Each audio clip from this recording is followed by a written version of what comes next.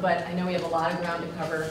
So for those of you who don't know me, who are in the room, I'm Senator Rebecca Balint, I represent Windham County. I'm the chair of this committee. Representative uh, Mike Yantachka is the vice chair, and we are going to start off with um, 15 minutes of public comment. So I understand there are some folks here who um, wanted to testify before the committee. So who are those folks? Yes, great, okay. So we'll start, we'll go one, two, three. Okay, come on up.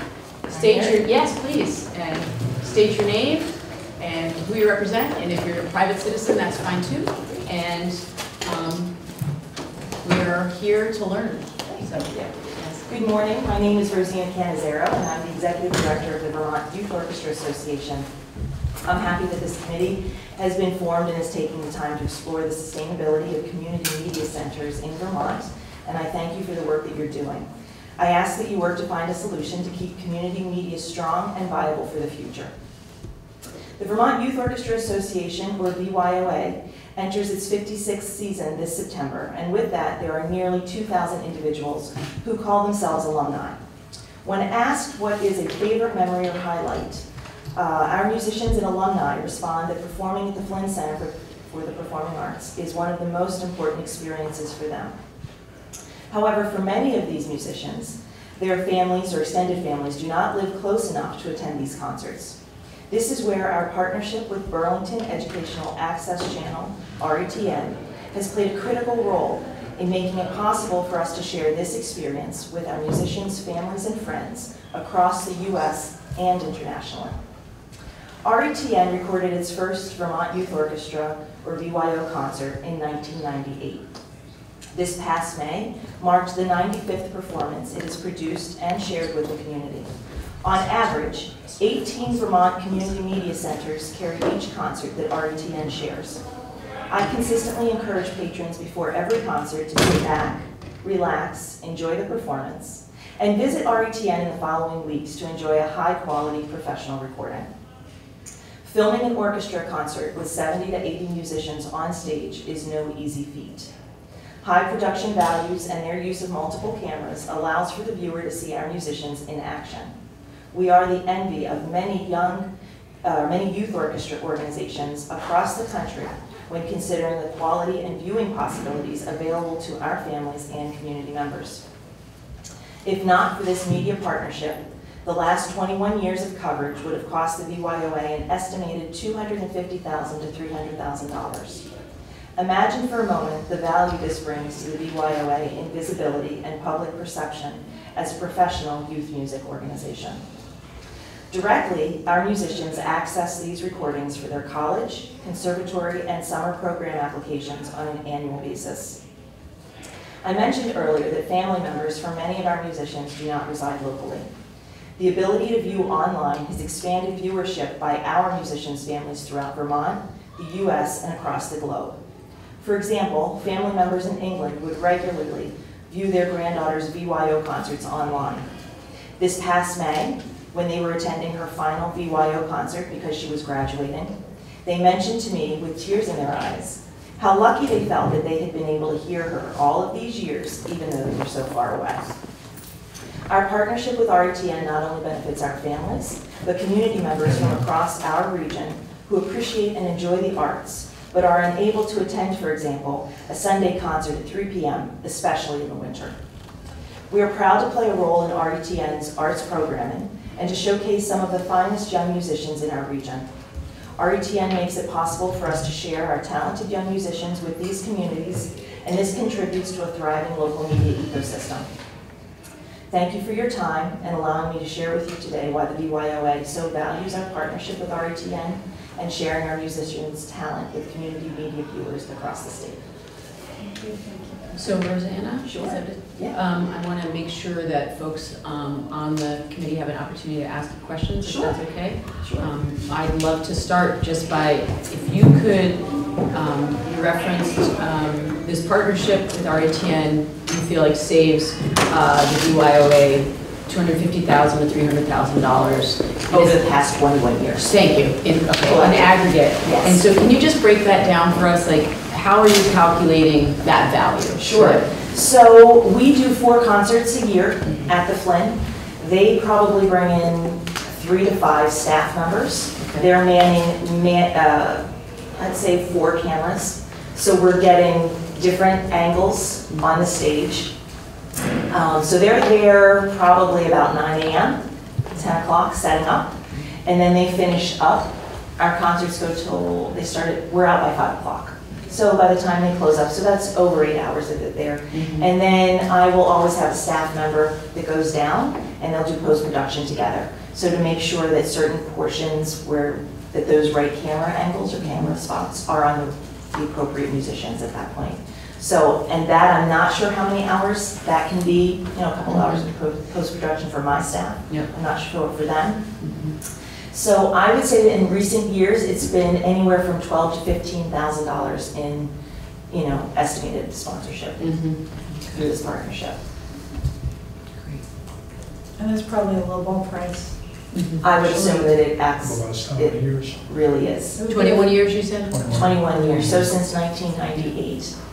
And um, I would say, I mean, they're refined, that they're really high High quality. production. High, yes, absolutely high quality.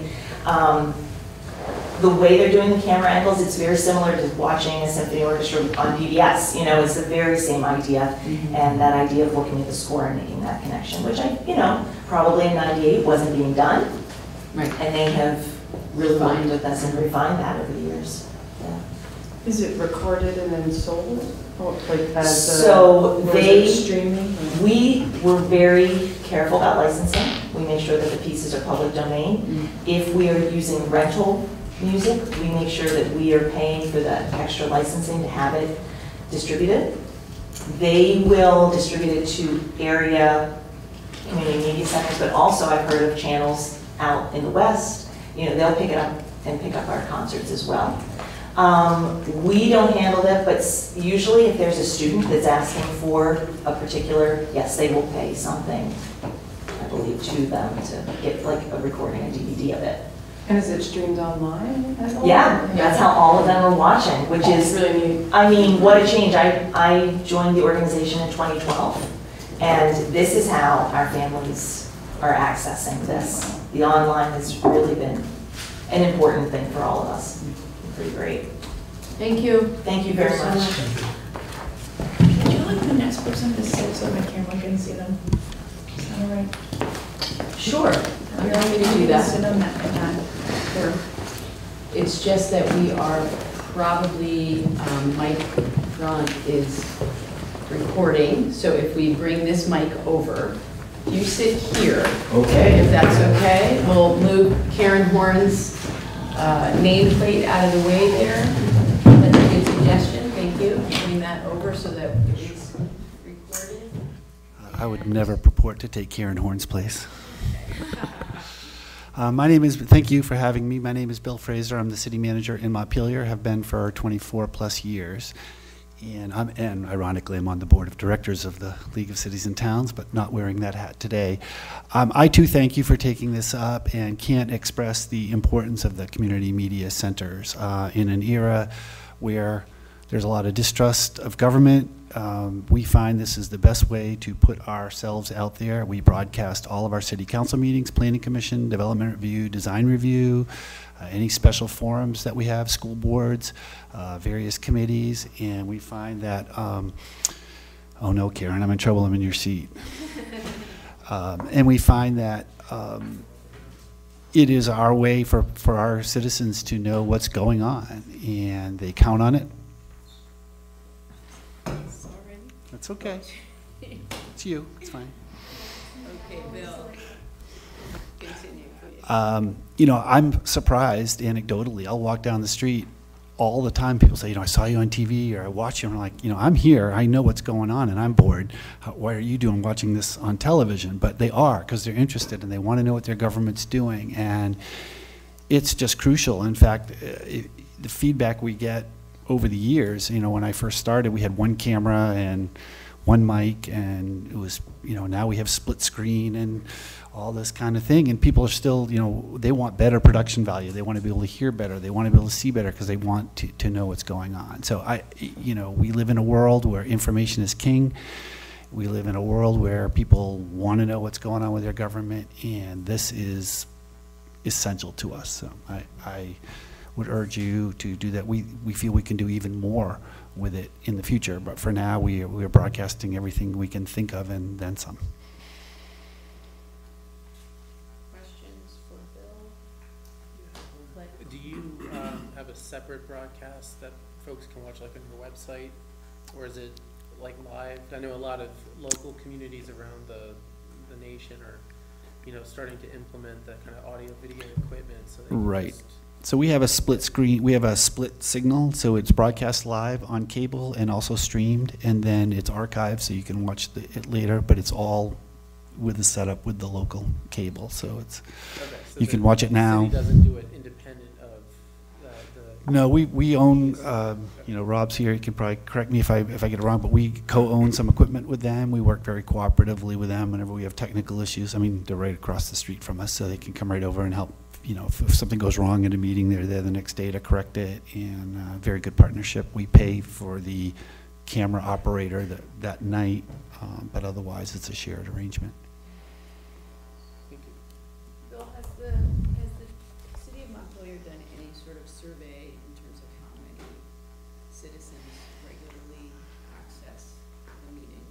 Yes, but not super recently. In, in about 2009, we did a, a community survey, and I think we're planning to do another one this year in with a lot of general questions. It's, uh, and one of them was where do you get information? And it was a very high percentage. I don't remember the exact number, but very clearly people were watching on cable. Definitely true in my town as well. Any other questions for I was Bill? just gonna ask, Yeah. um, you mentioned that you pay the film producers. Could you talk about the financial arrangement and what capacity the municipality has to cover the actual costs of the coverage? So we pay an hourly rate to the, the person who comes and sits, and, you know, unfortunately, some of those meetings can be pretty long, um, but, uh, and that's a set rate, we pay them directly, um, we have their name, but uh, ORCA helps schedule them, and we will contact them and let them know, you know, we have four meetings this week, and here's the times, and here's the locations, and they will, we, we coordinate with my office to get someone there, and then we, we pay them the, the, pro- the technical production costs, we don't pay for, that's part of uh, what they provide. And I think that might be an unusual arrangement that the municipalities cover the labor. I think in most access centers, the access center, the cable subscribers cover the labor, so this is an interesting Okay. model, Okay. um, to be looking at. I, I don't know how that started, but I think it, we were one of the first to really expand. You know, get, you know, a lot of people had their select board meeting or city council meeting, and that was kind of it. And we, back in the nineties, and wanted to put everything on, and so we said, hey, we'll pay for it, but we want to, we want to provide this. And now it's, you know, once you do it, it's an expectation. So, and, and we're happy to do it. It's a, it's a good thing. Bill, thank you for your time. My pleasure. Thank you for doing this, and I, I hope we can keep this as, you know, transparency in government is essential. So, thank you.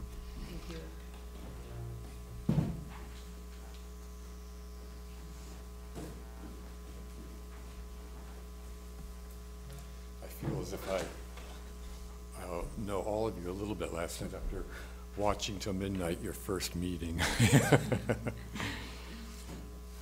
Uh, My name is Tom Chamberlain. I am a resident of uh, Rutland, Vermont, where I have a private practice in family mediation.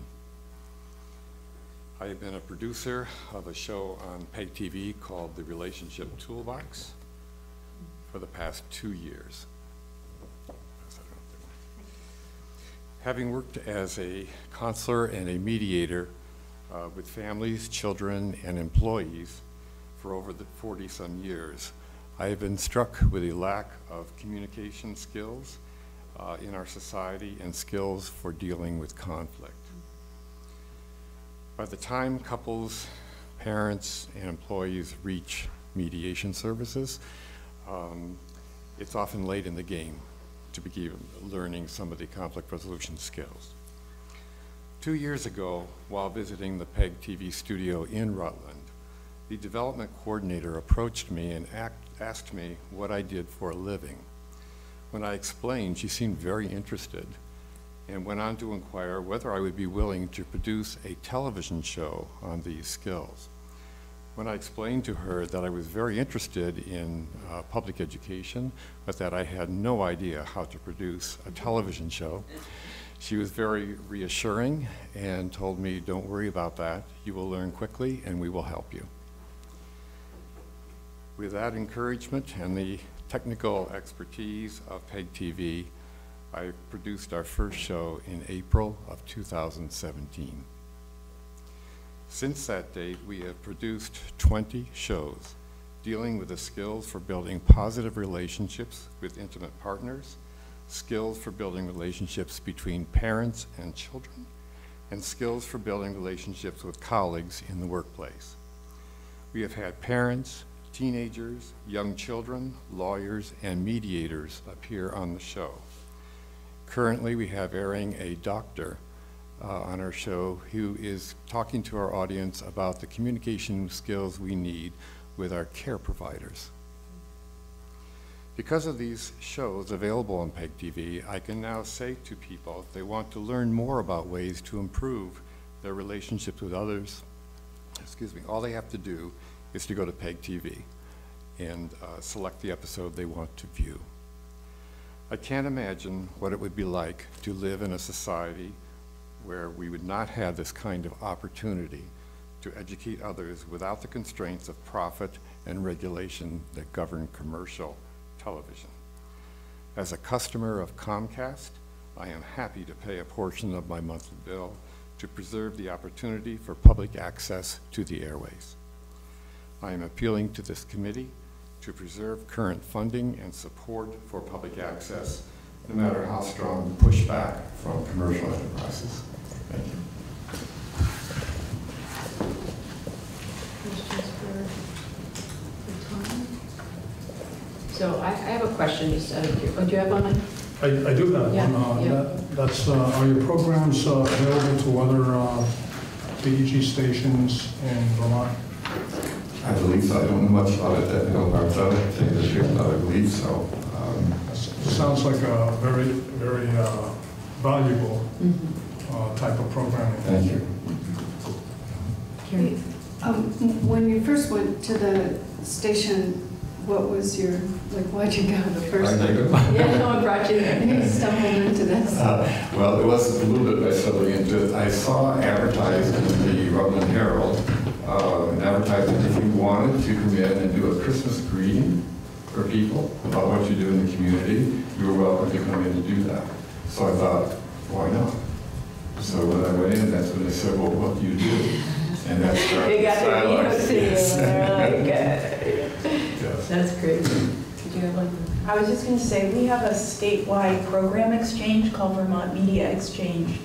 So when your program is produced, it's then posted on this sharing platform. And access centers in Vermont take it down to run it locally. And in the case of the youth orchestra, it's also connected to a national network. So that can also be used by access centers outside of the state. So Lauren Glenn, do they pay dues into the sharing platform to be able to be part of that network? Well, Vermont Access Network is a Right. dues-based organization, So and part of that helps to support the platform. Clay? And and this might be a question for you, perhaps, um, Lauren, Glenn. Uh, Do you have any idea what the viewership uh, numbers look like for your program? I've program? asked that question a lot because I'm curious about that too. I don't know. Do you have a participation, like a, uh, participation aspect where people call in or something? Or is it more just outward education? You know, it's outward education. We do hear from people in the community, it's small, so people come up and, and talk about it. And if they say, I saw you on television, of course, immediately I say, and what did you learn from? It's a really interesting aspect that you brought here, Tom, that I really hadn't considered, which is, I've been thinking around issues of broadband and telemedicine and the issues of how does somebody who's in their home, who doesn't have access to a therapeutic setting Mhm. access that information.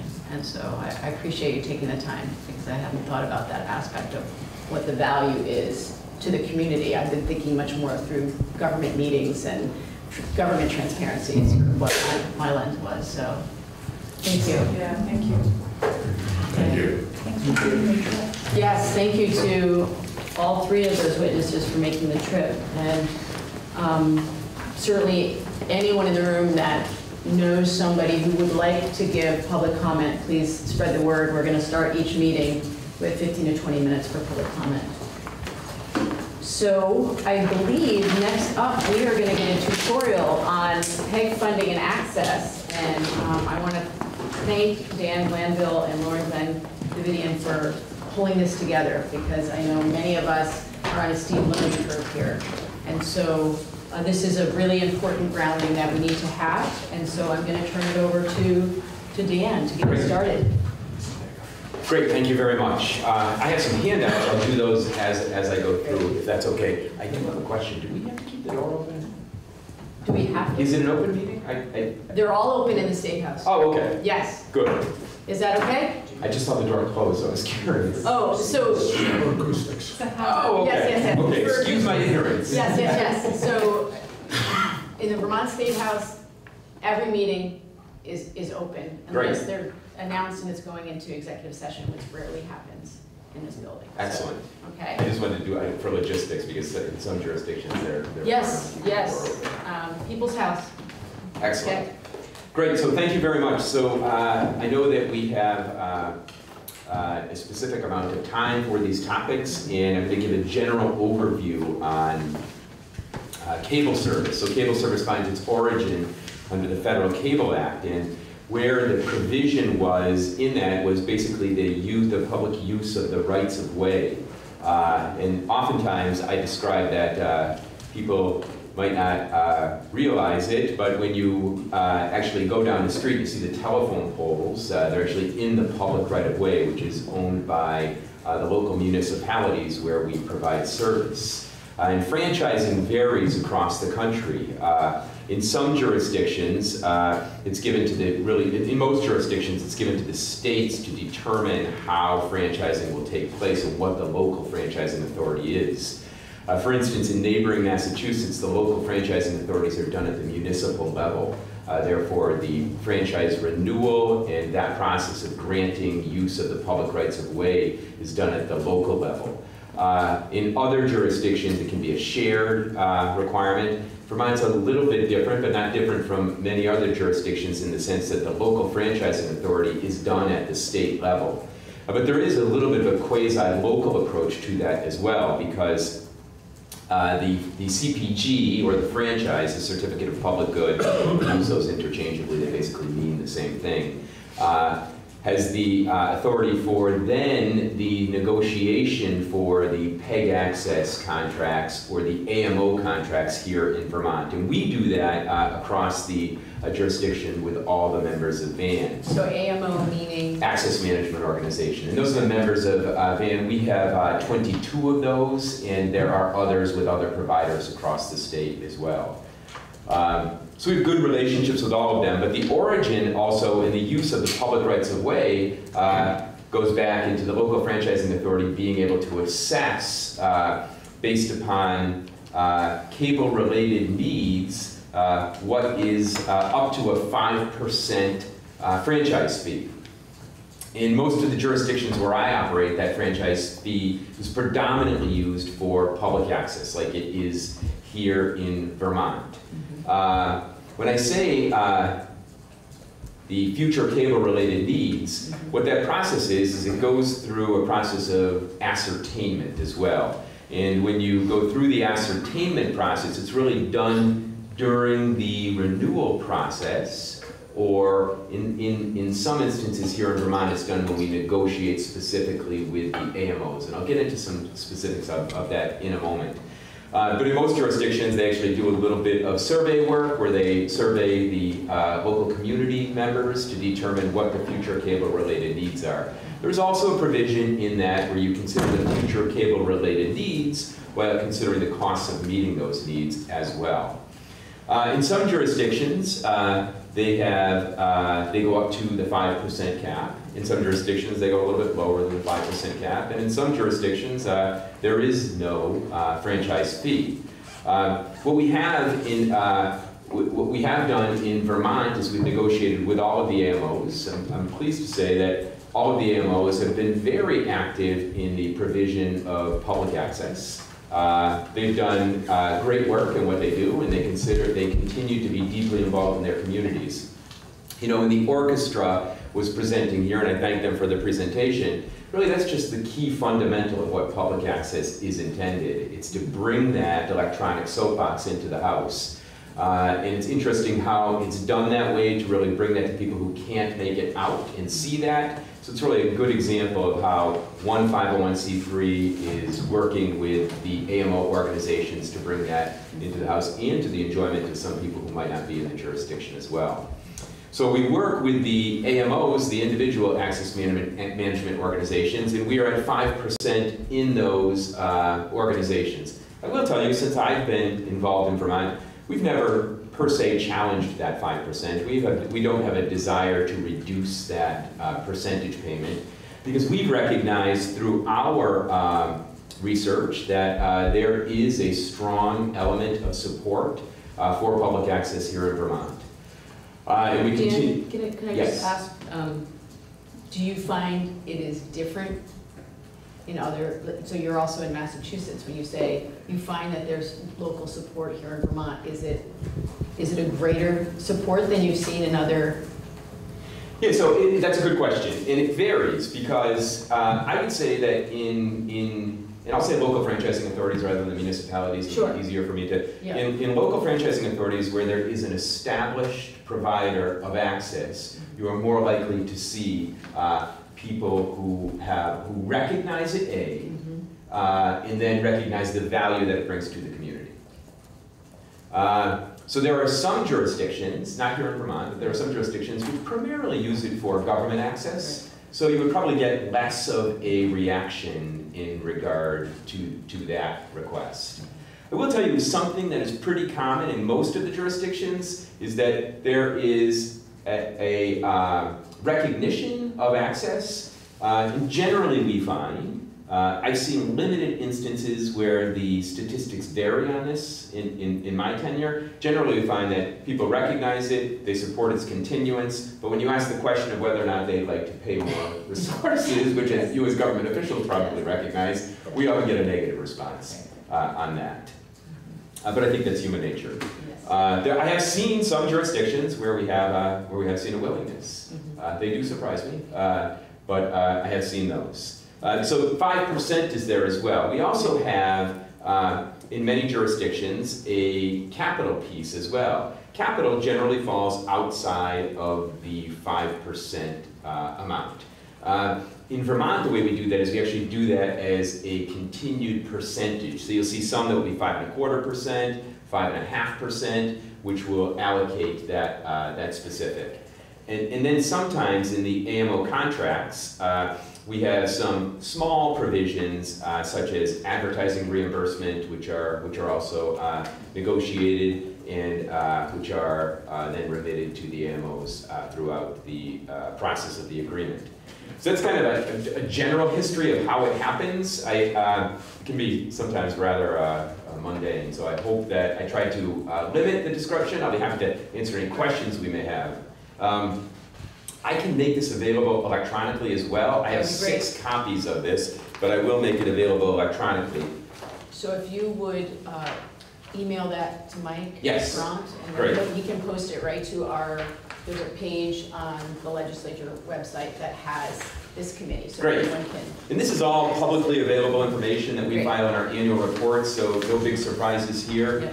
We did enter uh, through our, app- yes, sir. Yeah, uh, I I have a question. Uh, I just wanted to make sure that I understand.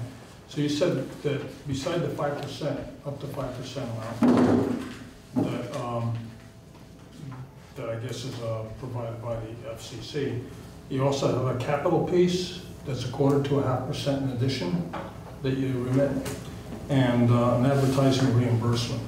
So, Yeah, yeah, how the does that advertising reimbursement work? Uh, it varies by, by AMO contract. It's, it's a small amount of dollars, and what happens is Who's the, advertising the AMOs will do some advertising during a particular year, advertising, uh, on the cable? uh, in- usually in newspapers, Oh, newspapers? Yeah. Okay. and we reimburse for that. Uh, It, it was probably, uh, probably, uh, I'll I'll defer to Lauren, Gre- Lauren Glenn an opinion, because it was probably more productive in the past to do newspaper advertising than it is today. Uh, But we, they continue the process, and uh, we continue reimbursement for it. I see. Is the 2019 numbers um, listed to date? Uh, no, I think that is through a little more than Q1, I'm fairly certain. And I'm not gonna go go through the details, but we Yeah. entered It in. just uh, jumped out at me, yeah. Yeah, it- Yeah. right, it- so it jumped out as a, uh, it, it might be halfway through it, but I think it's a little less than halfway through. Uh, So you've seen that when we enter in uh, 2006, where we were and where we go through 2018. I know that I come up later in the process to discuss some trends. So uh, I can speak to what may cause some trends at that juncture. uh, But this just gives a general flavor as to how the funding has taken place over that period. And I must say, this is all funding, so this is not, this is, we can categorize this uh, I see Lauren Glenn squinting, so we can categorize this by percentage payment, Yeah. by capital payment, and also by advertising payment. Uh, My statistician, uh, Melissa Pierce, is the one who uh, puts all of this together. Thank you, Melissa. Uh, And that's what I have right now, but I will have some, I have some further information regarding uh, When we get what look like EKGs on uh, the the trending report, and some general commentary as what affects trends as well. Okay, Yes, Clay? Can you uh, discuss a little bit about what revenues uh, contribute to this funding? Yeah, so good question. Um, Cable service revenues include, are, are, are are included in that. Cable service has a broad definition. Uh, It's generally the provision of our television service. It also includes uh, revenue from the rental of uh, cable service equipment, meaning the set-top boxes uh, and, and- and that type of equipment. Uh, In addition, there is a proportional basis of advertising revenue because we receive advertising revenue from our, uh, some of the local ad providers, which are included uh, in the cable service revenue as well. And what, how this is collected is that it is uh, collected on a monthly basis as a percentage of the cable service that subscribers pay. It's then uh, paid on a quarterly basis. Uh, Most, most go through on a quarterly basis to the AMO providers. Did that answer your question, Clay? Yes. This is really helpful, thank you. Any questions for Dan at this point? I have a question, but I think he's he's gonna address it later on. so Okay, all right, so just make a note. If he of doesn't, yourself I'll there. get to it.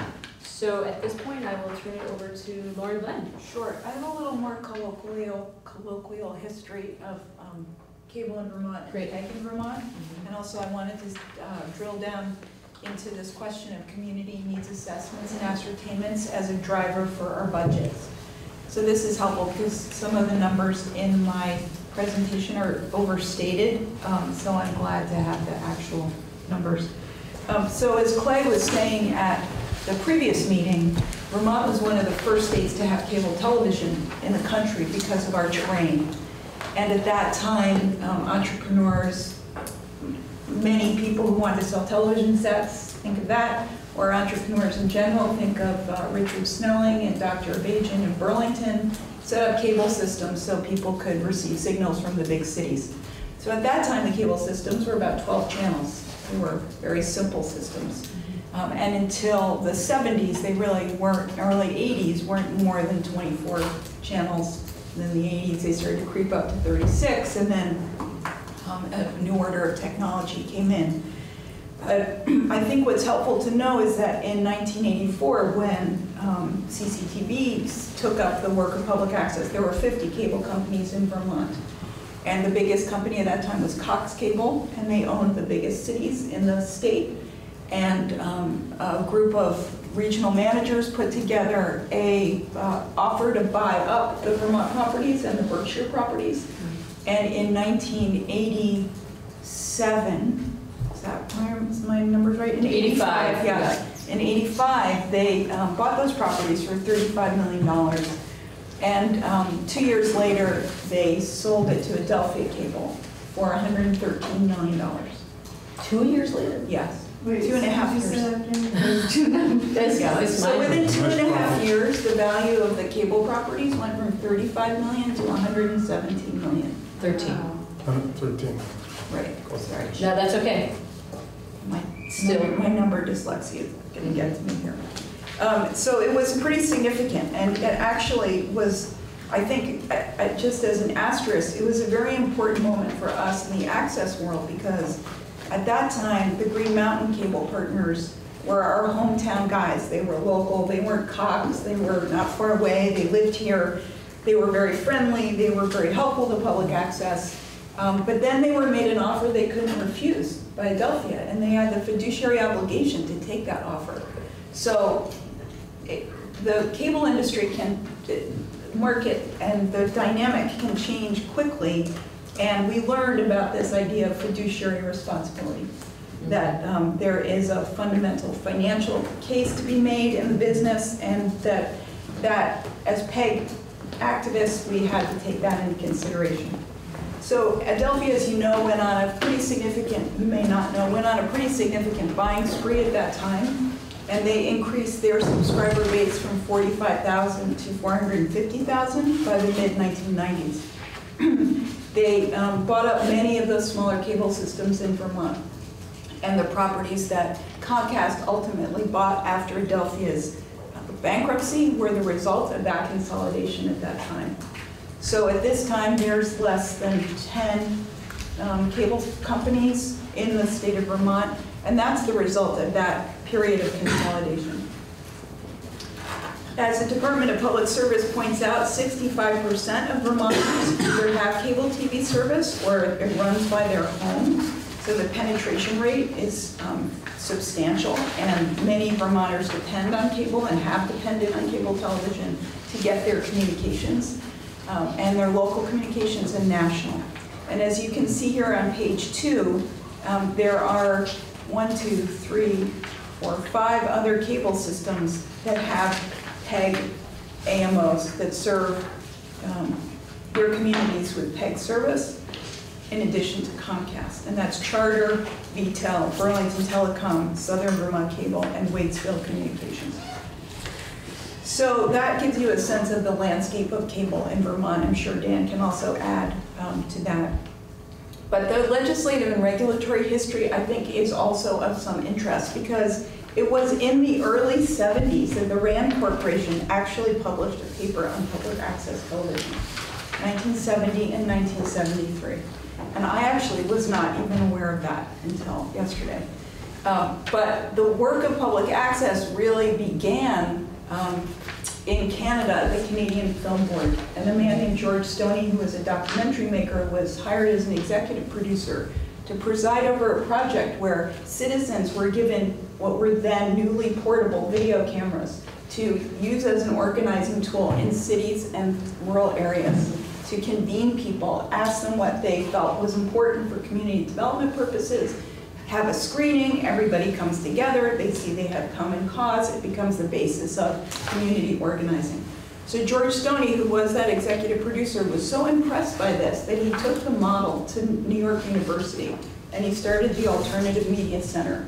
And at the same, time that he was training the first generation of um, activists with cameras, community developers really with cameras, Goddard had a community media center also operating. Mm-hmm. And so the first leaders of that time from the 70s were generated from Vermont and New York, and they were sent across the country at a time when there was no federal requirement for public access.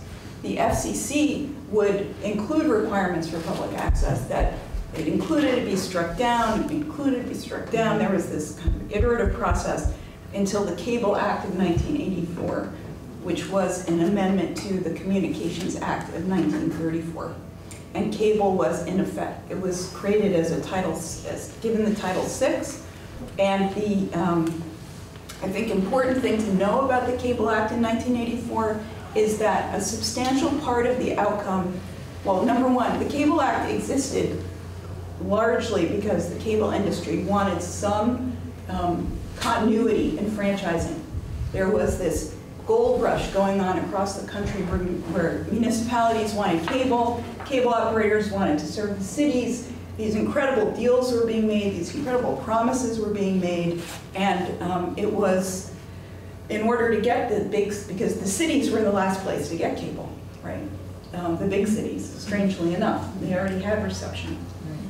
So the, the industry wanted some help in um, sort of reining in this process.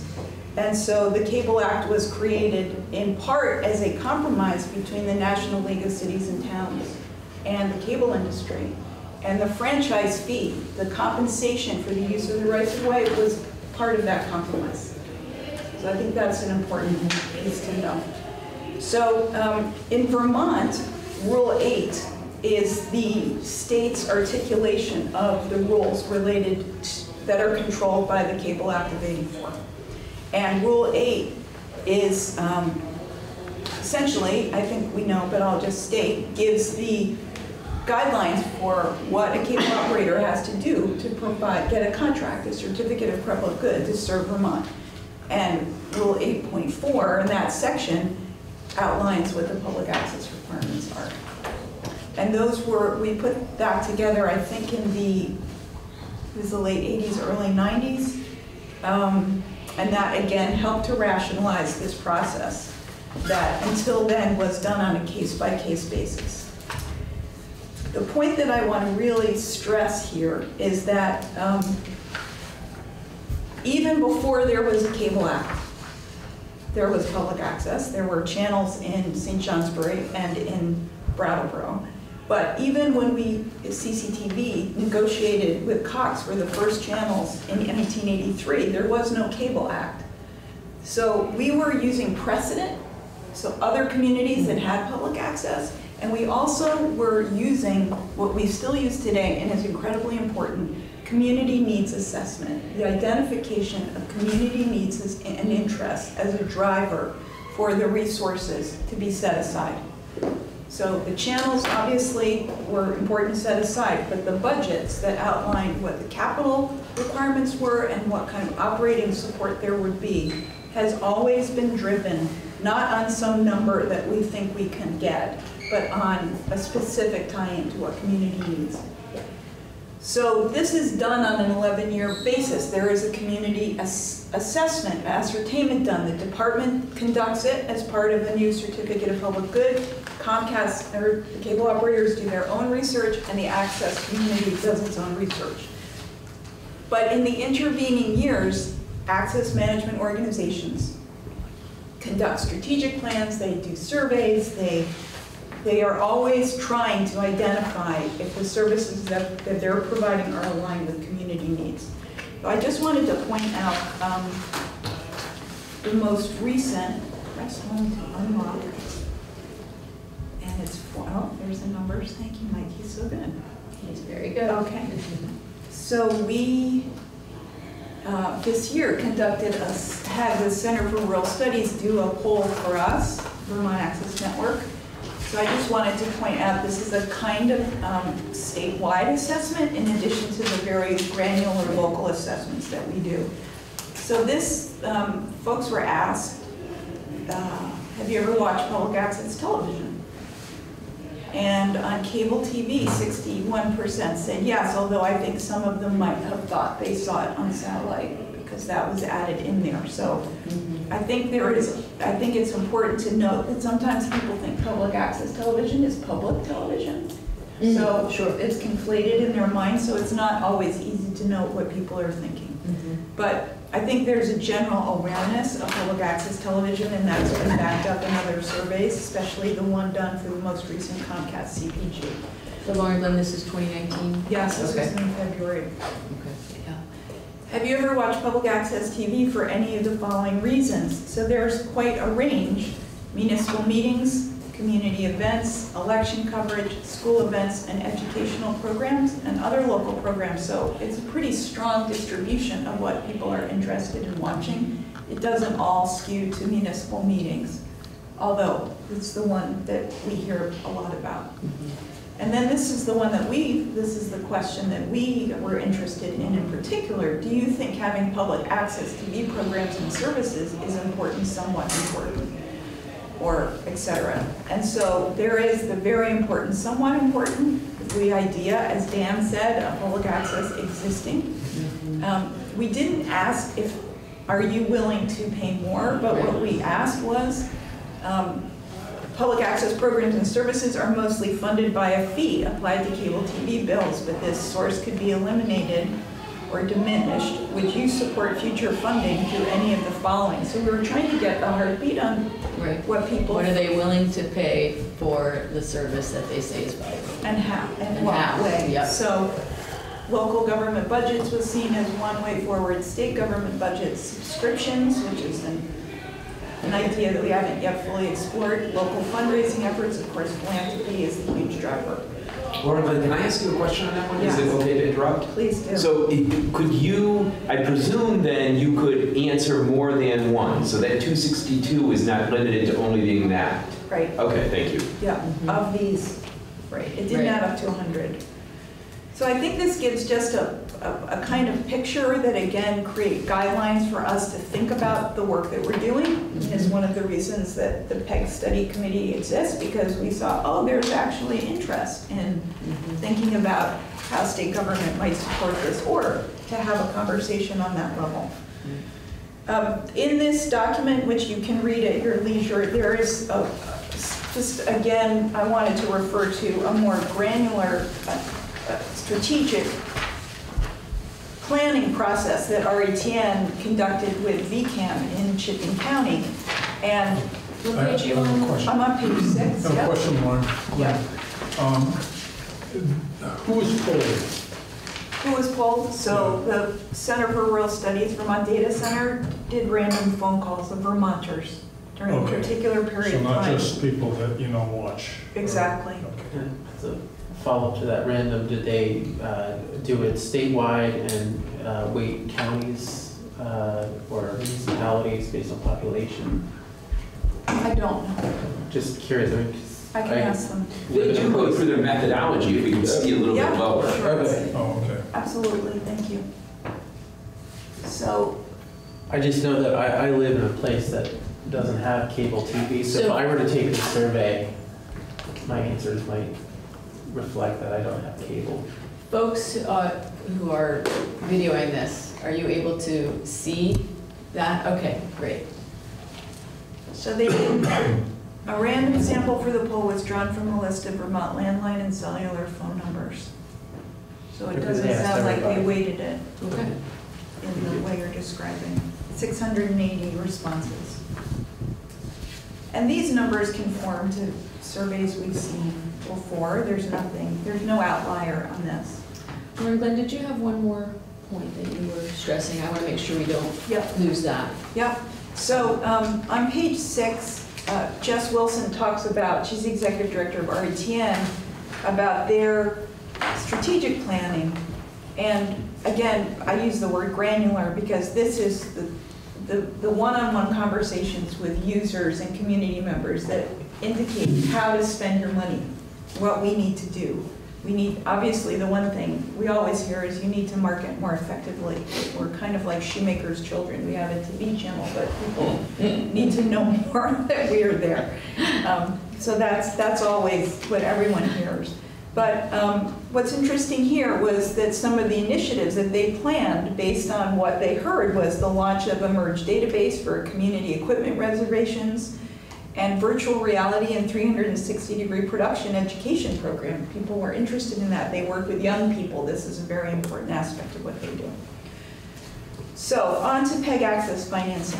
Um, PEG access financing is primarily uh, based on cable subscriber revenue and their contributions to the cause. There is an increasing uh, focus on business planning and revenue diversification among the access centers. And you can see here from the um, BCTV, GNAT, Okemo Valley even have sections on their website that say underwrite with us, become members with us. It is important to point out that the work that the PEG centers do actually supplement the budgets of public institutions. So I think that Montpelier is a, is an outlier. Most municipal, municipalities receive deeply discounted or free coverage of their public meetings. So this is an offset to their public budgets. Educational institutions for whom RETN and educational access centers supplement public education budgets through the training and the education that they provide to young people as well as to older people. The nonprofits for whom their reach, as, as the youth orchestra just mentioned, this is a, a cost to them that they don't have to pay because these PEG budgets are supplementing it. Now, this is not to say that there is not a way forward to diversify the revenue and to increase earned income or fees for service, contributions, and underwriting. Um, But we know, given that these budgets range from about 50,000 to almost a million between Hardwick and Rutland, that um, these larger budgets will be really hard to replace using diverse revenue sources. Other, um, you know, the traditional ways. It will take a- a several years for these organizations to have a philanthropic base that yields two or three hundred thousand dollars a year. So, looking ahead, um, we are interested in thinking about ways to leverage the value that PEG offers. And some of the things that we have been thinking about include a statewide TV channel, reviving Vermont Interactive Television, services to the state, working more closely with state government, services that we can provide to the state that amplify the reach and impact of what we as the state are trying to do. And finally, there were some questions about uh, internet statistics. So we don't have access to the cable, cable numbers. Like how many, we don't have the Nielsen's for the cable. That's not something that is made available to the PEG. So actually, since we've gone online on the internet, we've had a, gotten a much better sense of who's watching beyond anecdotal. And uh, I think the very short, there's details in here, Mike, that you can look at, but I think what's really important to know is that if there is a gun hearing, you know, gun rights hearing in Essex, you're gonna have a thousand people watching that live. If it's a regular select board meeting, you might have 30 people watching that live. But the situational value for that to be there when those thousand people want it is how we measure the value of access. It mm-hmm. isn't how many people are watching on Friday night at 4 o'clock or 10 mm-hmm. o'clock. It's how valuable and to what audiences are these niche programs and general mm-hmm. programs of value to people. And in a community like Brattleboro, you will have as many hits on their website as you do in, in Chittenden County. Mm-hmm. So it, the size also doesn't really, of the community doesn't really matter. It has to do with the relevance of the services that we offer. And that's why the community needs assessments are so critical because they assure that we can remain relevant and serve the people in our community. Happy to answer any questions. Um, Lauren? So if I could, Oh, Karen, sorry. just, no, it's okay. I just want to make sure that we don't squeeze the later topics. And so I'll take a couple questions here. Anyone, um, as I move us along, if your question doesn't get answered, please make a note of it. We'll circle back around at the end. I just know from my own morning committee that often the folks at the end get um, their time curtailed, and I don't want to do that. So Karen, go I think ahead. it's a quick question, but um, I believe that in recent years, some of the cable stations have added themselves to the list of charitable organizations at town meeting that you contribute to. I think that's the case in um, a bunch of towns recently. Yes. Do you have any idea what, what kind of revenue is derived from that? Kevin, is that a number that you are aware of? It's not offhand. Yeah, it's, it's a range. You know, For example, in the case of Channel 17, we were receiving um, about $6,000 per community that we served between 6 and 12,000. Uh-huh. And when the, the gap, the reclassification of cable revenue happened at the end of 2017, we all took a financial hit, and for us, it was about forty-eight thousand dollars. So we asked all of the municipalities to ink, to double their contribution. So now we're yielding about ninety thousand dollars in municipal revenue. I think that Brattleboro um, probably asked for something on the order of $1,500 or two thousand dollars per municipality. So I think we have a range depending on the community, but you are right, more, more of those requests were granted. Um, So I think that's a- an important question. Um, This is just cable service revenue, so you have revenue from other sources, and so being able to see, um, I- I'm sure you've already provided that, so my apologies. Um, Kind of what the total picture of revenue is and what the different sources are. Um, I I have would appreciate that. Yes, I have, um, I didn't put it up, but I did bring, just so you know, and I'll just send it around. We did a quick little survey of the, um, who's raising money in different ways. So I will find that and pass it around. It's in my file here. And then I just had one other question. Um, For AMOs that serve multiple political jurisdictions or multiple communities, like Orca, probably a good example, how are resources allocated between the different communities? As in, how do you make decisions about, you know, um, recording and uh, streaming, or not streaming, but uh, broadcasting Montpelier and then Randolph and East Montpelier and the other communities. In the case of, um, I can speak for Channel 17, at Town Meeting Television, we allocate resources based on the subscriber breakdown. So we get a subscriber, and that actually hasn't changed significantly in 20, 30 years, but um, surprisingly enough, but that's how we do. So we allocate it based on the number, weighted number of subscribers. So they get, Burlington gets more resources than Essex. So a town that's in a franchise territory of Comcast, but Comcast hasn't actually built that town, so there would be zero subscribers, would they then get zero resources allocated to their town meetings or their? We don't have that situation Okay. in Chittenden County. Rob, is that, did you want to add how you allocate resources? Sure. Rob, can you state your name and who you represent? Yeah, you want me to come up? Sure. Come the microphone? Um, So my name is Rob Chapman. I am the executive director of Orca Media here in Montpelier. Uh, Differently than Laura Glenn does, we do not discriminate on our towns. We serve 14 towns in central Vermont around Montpelier and Randolph. Uh, We try to uh, make sure that all towns get services. We can sort of have a basic li- line, we'll do the select boards and school boards and districts.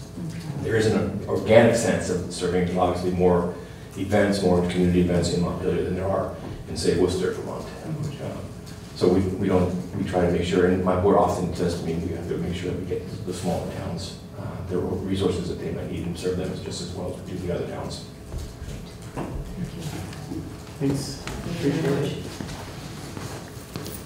So if I could, if we take a moment and have um, Lauren, Glenn, Dan, and Clay look over the five remaining agenda items and just let me know which of those topics do you think is going to require the most Senator, mine won't require any discussion. Okay, you're more just, here's the map, Okay. here's your own information. Okay. Happy to talk about it, but So, at most a minute.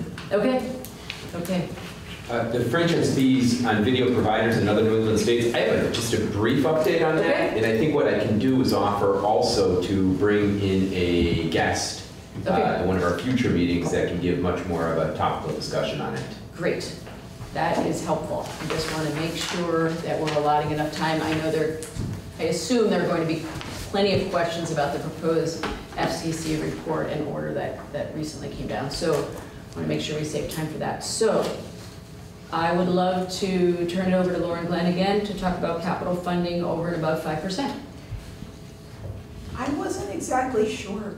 I wasn't exactly sure about this. Okay, But I would just say that the franchise fee that's allowed to be collected by the franchising authority, by the Cable Act, is five percent. But an amount unspecified may be collected over and above that for capital purposes.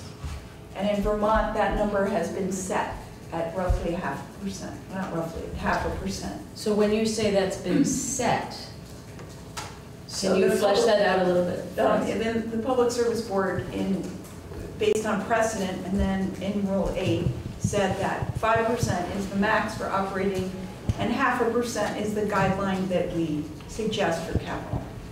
So it's a guideline, it's not a, It's not, Hard and it- fast. it's not hard and fast, and, but it's the number that most of the access centers collect. There are a couple that do not collect capital funds for reasons that are not clear to me.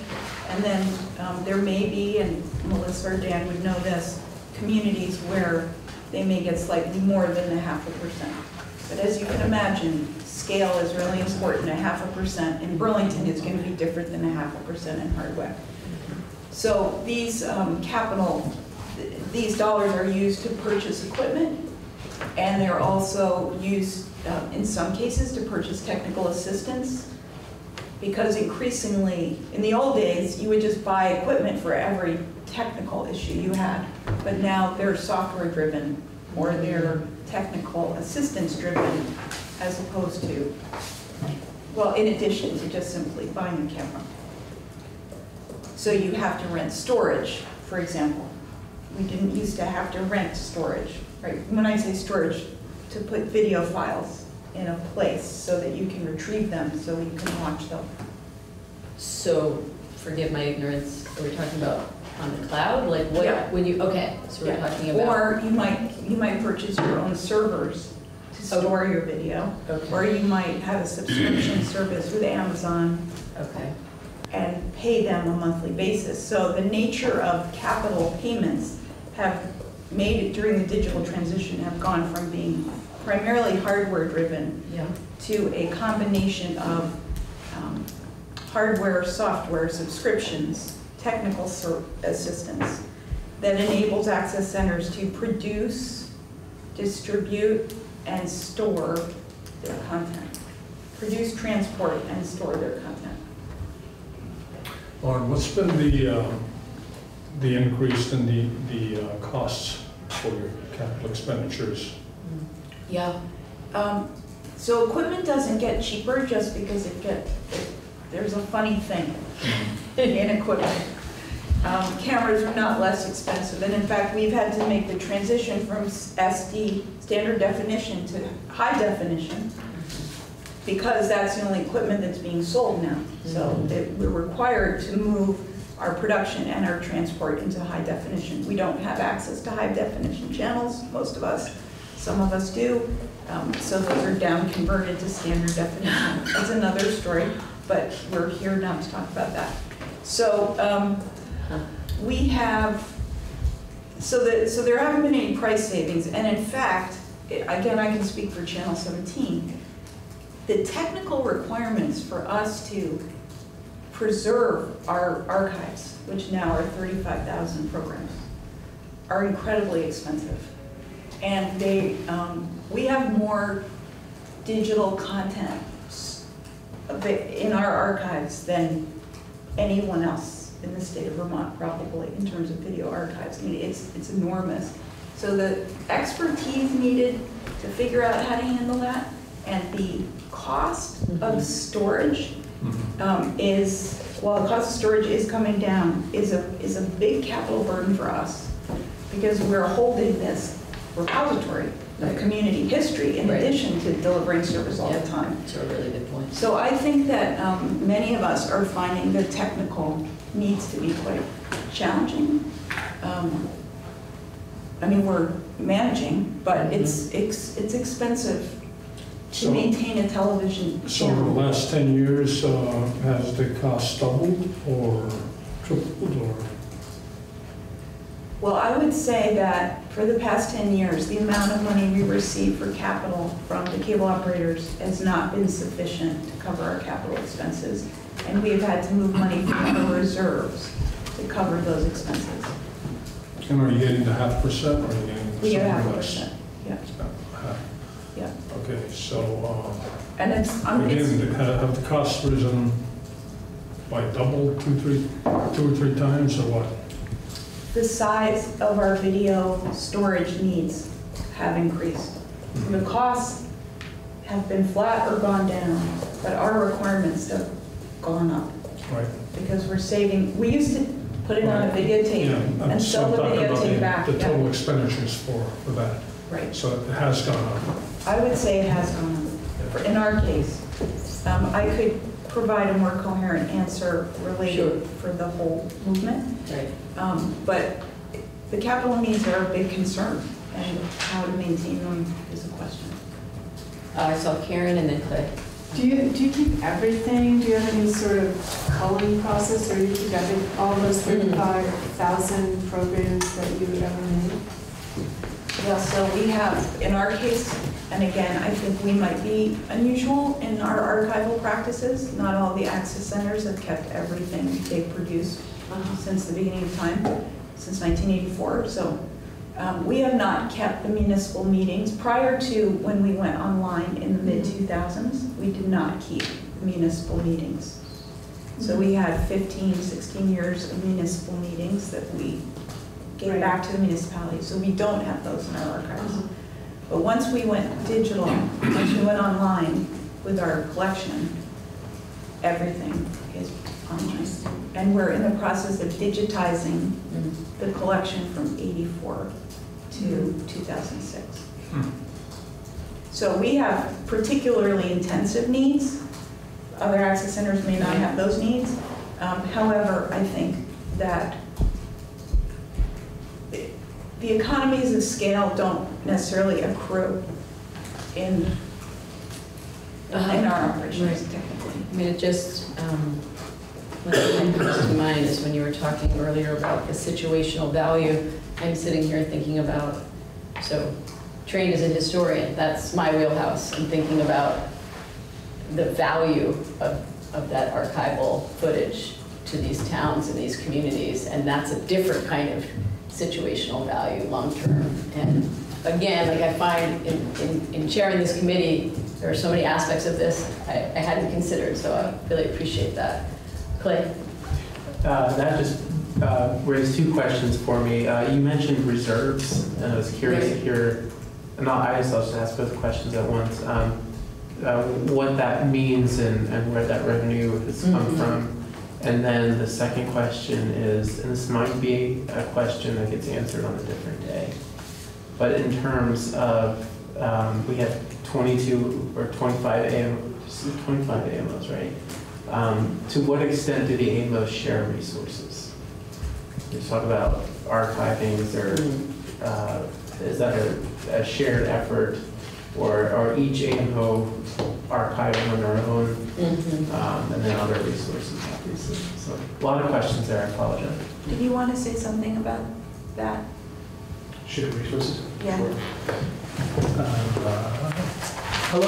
Thank you for coming up. Yeah, uh, my name is Kevin Christopher. I'm the executive director of Lake Champlain Access TV in Colchester and the president of the Vermont Access Network. Um, I think, uh, given our uh, physical proximity to each other, that's not always the easiest thing. Um, In Burlington, uh, VCAM or RETN have a co-located facility or facilities, and they are doing a lot of shared resources. Uh, They have a tech core there, which CCTV is part of that tech core as well, and then we'll extend that. But, um, So there's a lot of shared um, storage there that I know of. Um, I don't know of any other example like that in the state.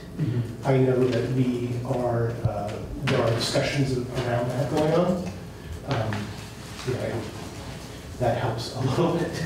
Yeah, we built the tech core in Burlington as a hub that we hoped would position us to create a statewide archiving process. Mhm. So we've, we have done a lot of our development work with an eye to statewide economies of scale.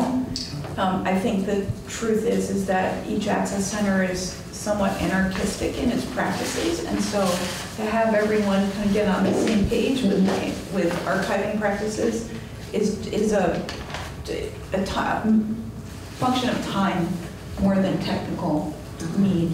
And there are movements afoot. Uh, Vermont Access Network has an archiving committee Right. that's kind of exploring best practices and the ways that we can. uh, And is the state involved in any way, like uh, the Uh, Are there agencies devoted to historical preservation, Department of Libraries, things like that? Are there discussions? I know there's been outreach to other entities in the state. I can't speak to to the specifics of that. I, I would say we work informally and anecdotally with, with those entities, because I think we're not quite at the point, we don't quite have the technical infrastructure to move ahead with a statewide archiving project, and that's what we're trying to position. And, yeah. What was your first question? 'Cause I- Reserves. Reserves. When you're spending money from the reserves to Yeah. pay for capital expenses, how So- are you backfilling the reserves, or are you, or, And what is that made up of? oh, right, where are you getting that reserve funding from? Yeah. Yeah, during the Adelphia years, um, they, we had funding, in our case, we had a funding issue with them that ended up them compensating us in a lump sum for money they hadn't paid over several years. So we had a pretty substantial, in addition to our savings, we call it a reserve. So fund balance would be what a, typically a nonprofit would call.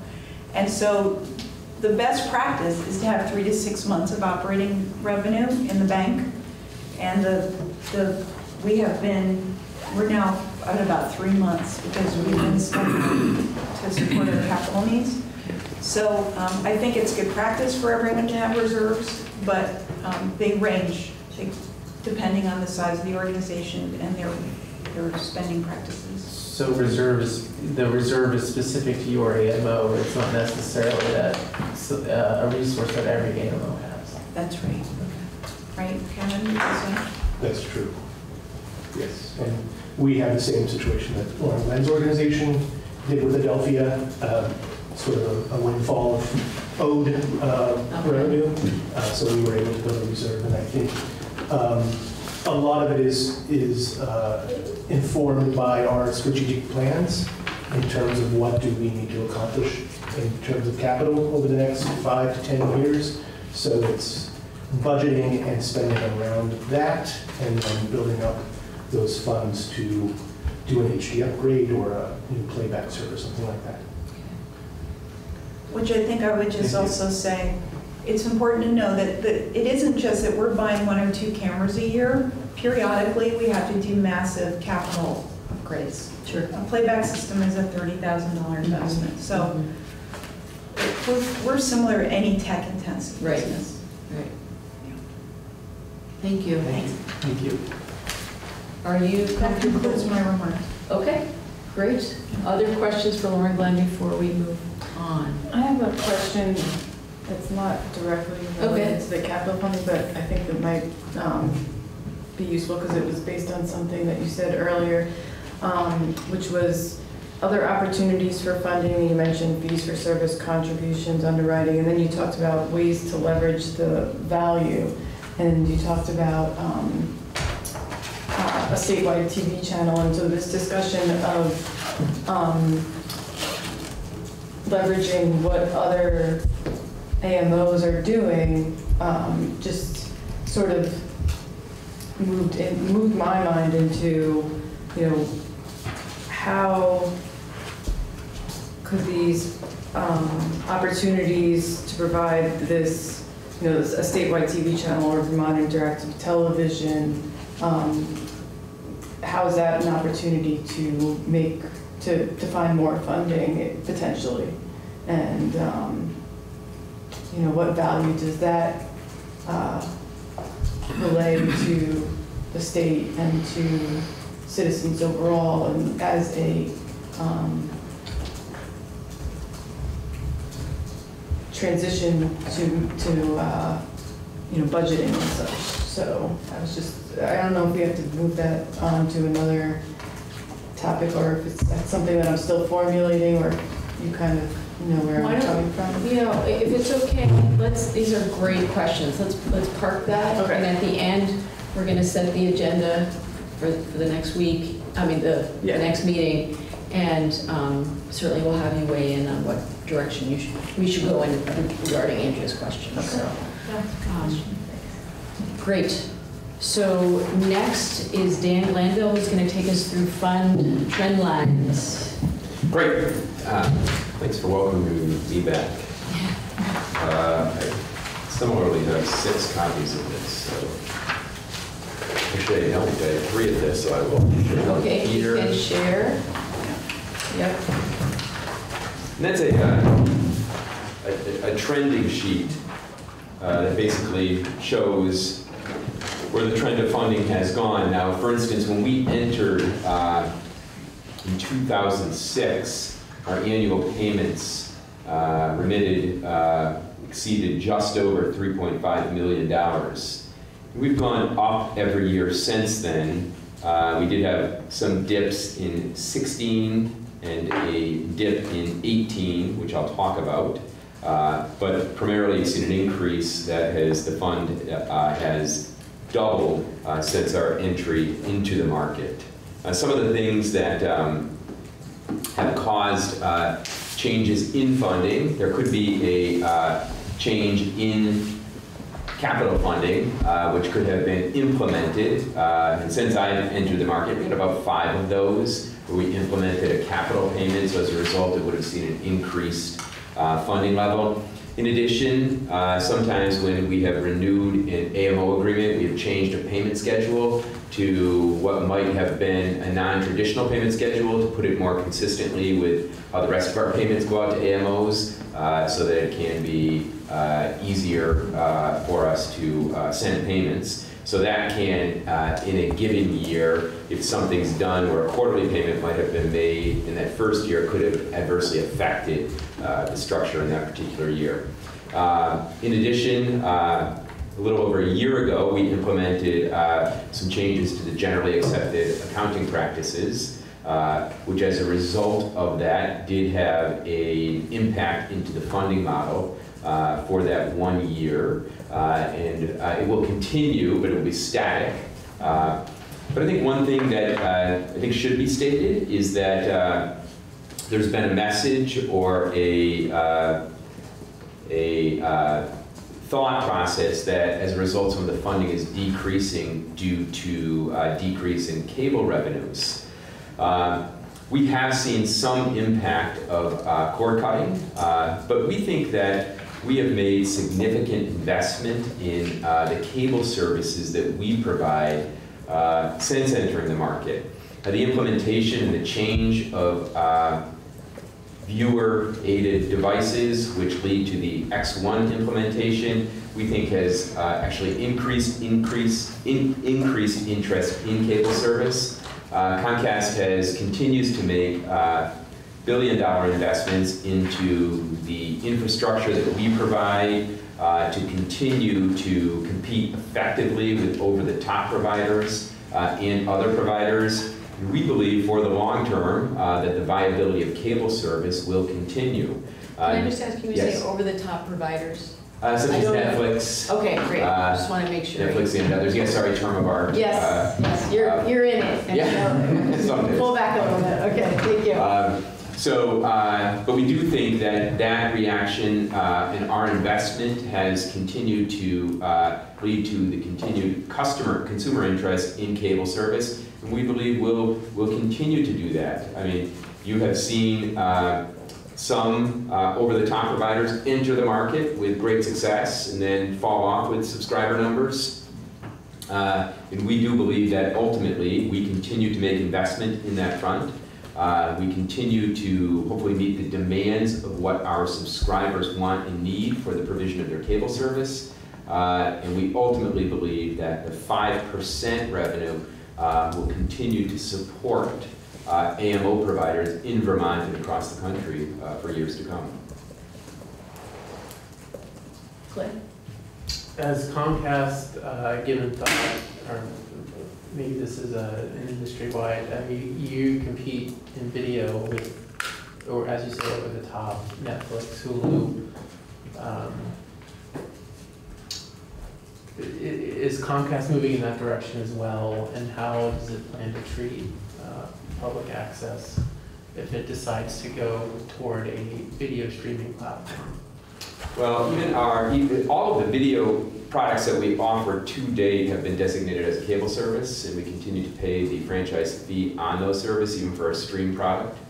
uh, Wait, Can you say that again? Even for the stream product that we currently offer today. Oh, Back up, what? Just all your services Yeah. are still classified as. Still classified as cable services, meaning we pay the five percent fee on All, that. all your videos. All of our video services, yes. So, Not So broadband or not. Even broadband. Not broadband. So I, I, I said all of our cable services, I probably should have said all of our video services. When I say cable services, I, it's the, it's the legal term for it, Okay, Yeah, when I hear cable services, I think my cable bill is only paying for broadband, you know, like, because I'm not, I don't have a TV, television video service.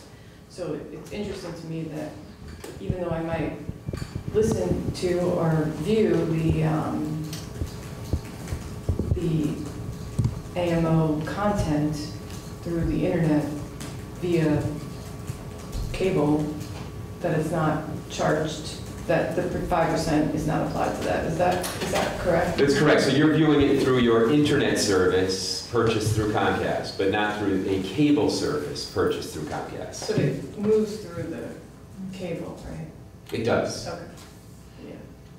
So it's just, I, I know that this is all discussed on the federal level and already, you know, limited and no, such, it's but really important But to tease just it out. from a practical Absolutely. standpoint, it, you know, who I pay my bill to and such, you know? Yes. It's not, I, I look at the Netflix bill, you know, as separate, but that vehicle comes through A cable. a cable. Yeah. And if you buy Netflix, you're not, you're Paying paying any- five percent more if you want the Comcast product, which is a competitor Well, but it's not the service. same product. Oh, we offer Netflix as an app on our X1 service. And we will, we will bill for that and provide it to you. Oh, okay, so, so if it were provided that way, then the five percent Correct. would apply, okay. See, there's a lot Yeah, of it's nuance really- is, it is is. this. Well, they're using the same infrastructure, Yeah. but they're classified, they're running businesses that are classified differently under the Communications Act, right? Right. So you've got Title VI, which is the cable, and then you've got Title I, which is the information service, right? And Title I is not subject to the franchise fee. Got it. But Title VI is, even though it's essentially the same infrastructure. So that's why he's taking pains to use the Right, terminology. terminology. Yeah. We're not trying to cause you pain. No payment. No, right. So, so when you talk about the viability of uh, cable service uh, being ongoing, um, you- you're not just talking about the uh, services provided through cable TV, but also the uh, broadband services that you're providing. Well, I'm talking about the video television service. Okay, so, so what you're saying is you're going to continue to have enough subscribers to video television service? We absolutely believe that to be the case. going. And with the addition of something like Netflix, it makes it easier for some, a customer to subscribe some, you know, in a way, I- and then that would actually keep the connection with the customer. Yeah, it's one spot, so it Yeah. can be available on our apps. We have that. Uh, We have Amazon Prime uh, and others. It's interesting. So X1 is a cable service. X1 is a cable service. So do you work, do you have a partnership with them? Is We that how do. that works? Okay. Thank you. You're welcome. Did you have something else? Yeah, uh, so another thing you said is that the, uh, you had a, a change in general accepted accounting practices, what, that was in 2017? Oh, Implemented at the end of 2017 for impact in 2018. Lauren, like, all these meetings and years blend together quickly, don't they? Okay, so um, you said that, that decreased the, um, the 5% uh, franchise fee for one year. Now, is that ongoing, is that, that decreased and it's going to stay at that level? Yeah, so the change, so the five percent remained the same. But what happened is how it was calculated and how we calculated our services as a result of how it would fit into that five percent was adjusted to meet GAAP. And as a result of that, going forward, that adjustment should not impact going forward. Does that make sense? So when you say it should not impact, does that mean that it'll no longer decrease, but? Not as a result of It's gonna stay at the GAAP. same level?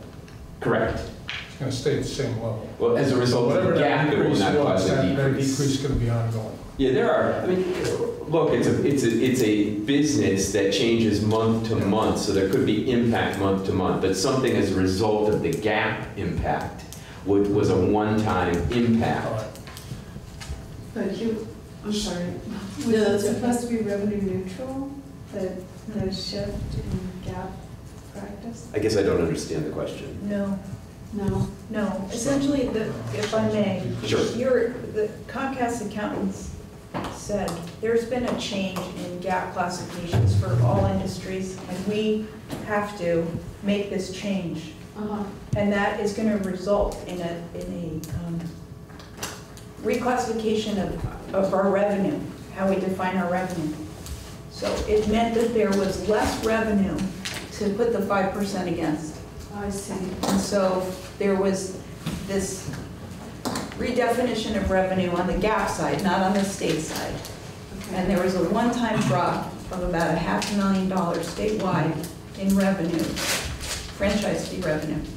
So that happened. So we've lost it, it's gone, but it's not gonna keep going down because of that. It's just- So for us non-accountants, um, what are the, what exactly changed in the accounting practices that resulted in this, this decrease?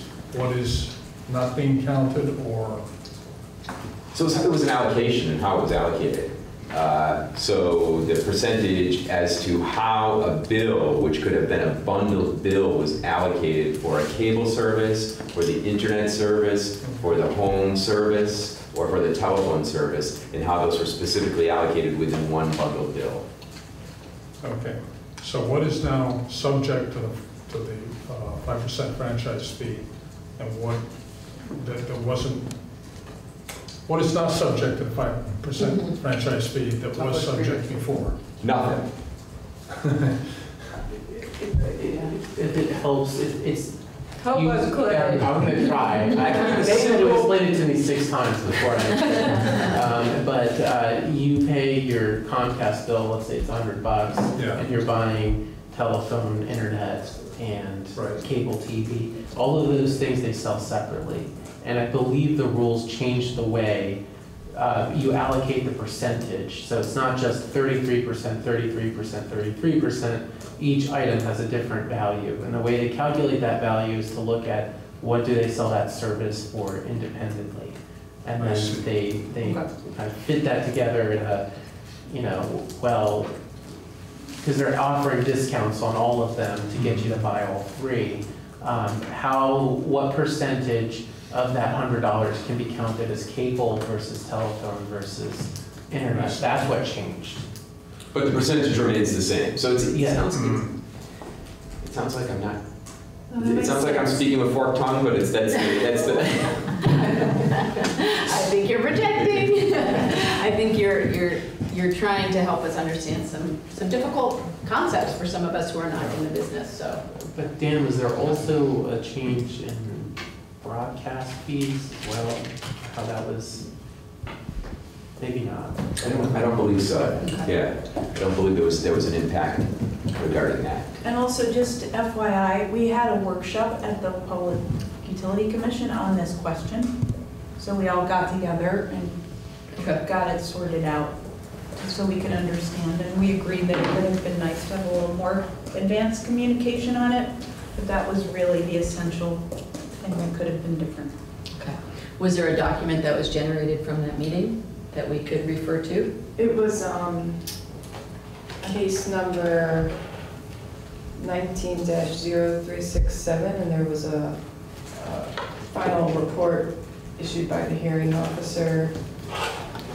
Um, And there were documents related to it, we can. s- I- Yeah, we had submitted documents, and I think there was, there was like several hours of testimony also, maybe an hour. Yeah, there. Yeah, it Transcript and there's, Well, uh, Very long. If, if there is a document that was generated that you think that would be helpful for us to see, you can get that electronically to, to Mike Ferrant, who's overseeing the committees um, through Ledge Council, and he can post that for us to see. But, but, so essentially, the end result was a reduction in revenues. Correct. Available. Dan, thank you. I, just, I just had one suggestion, um, that it, it it is really helpful to see the information presented this way, but I think that the scale is off in a way that doesn't really do enough justice to the, um, to, to witness the change in amounts, um, because, you know, for some of these, um, AMOs, a small amount is a big deal, and so Yeah. maybe if you could like squeeze in the dates, because I, I could see something like this going to a report, and it would be really helpful to have.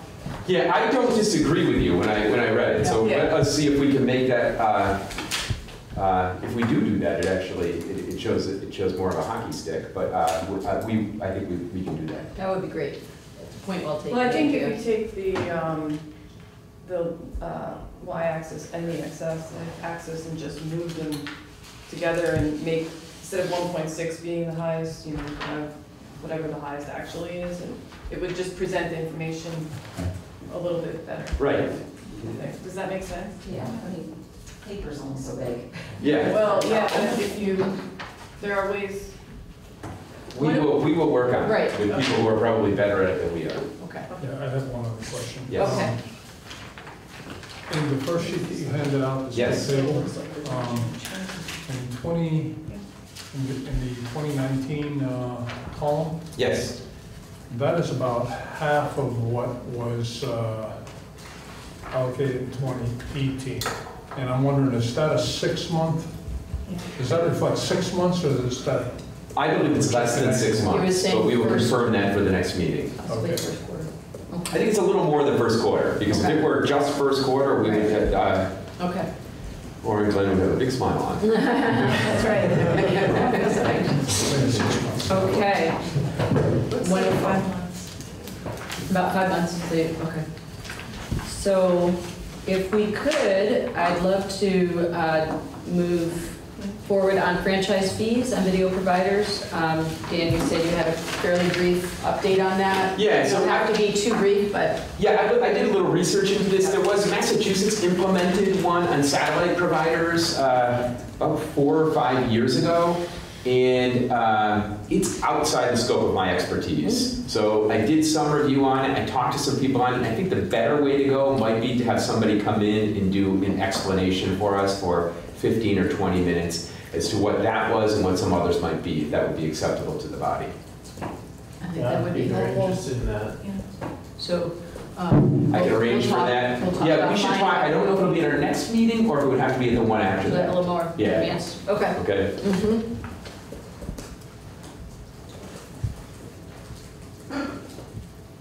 That's all I had. That's all you have? Okay, great. I just want to make sure I'm not, not cutting you off.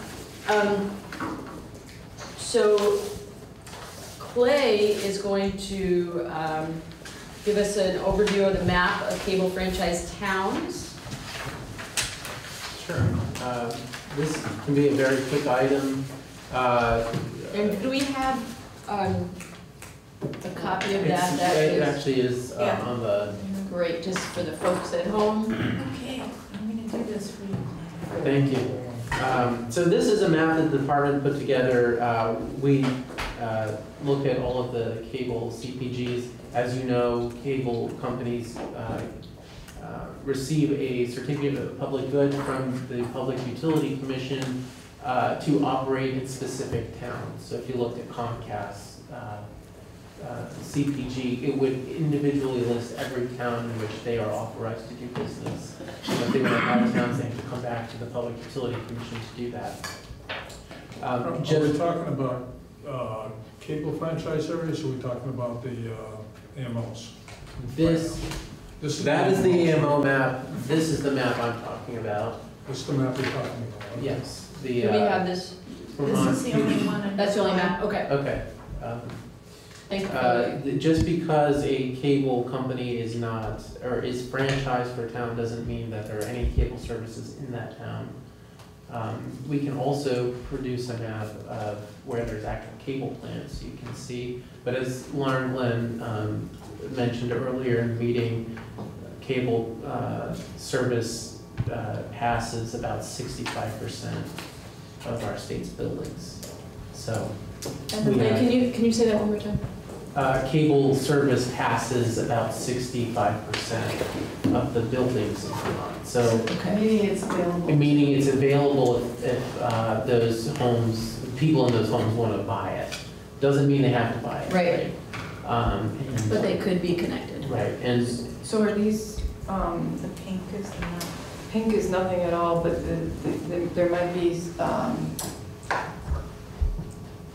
service, but not service to everyone, right? That's what you, that's what you're saying. Um, in the pink, there is absolutely no No cable service. because the cable companies do not have, uh, The franchise. the uh, franchise to operate in those, in those towns. So you can see the Northeast Kingdom has none. Yeah. Uh, if you looked at, um, I'm gonna pick on Brookfield, I like to pick on Brookfield. Um, I think there may be three homes in Brookfield that have cable Okay. plant going by it. Um, it, it- Comcast is franchised to offer service in Brookfield, doesn't mean they do. Uh, Or to the entire town. Mhm. And so most towns are like that, uh, at least rural towns. um, That, that, it doesn't mean that the town has hundred percent access to cable. It might have sixty or thirty or, uh, it depends. Um, uh, Comcast, you can see is the largest, um, followed by Charter, which is the second biggest. Um, Some towns have two franchises. Um, It doesn't mean that they compete directly, Bur- Bur- Burlington's probably the only place where cable companies are, two cable companies are competing head-to-head for the same body of customers.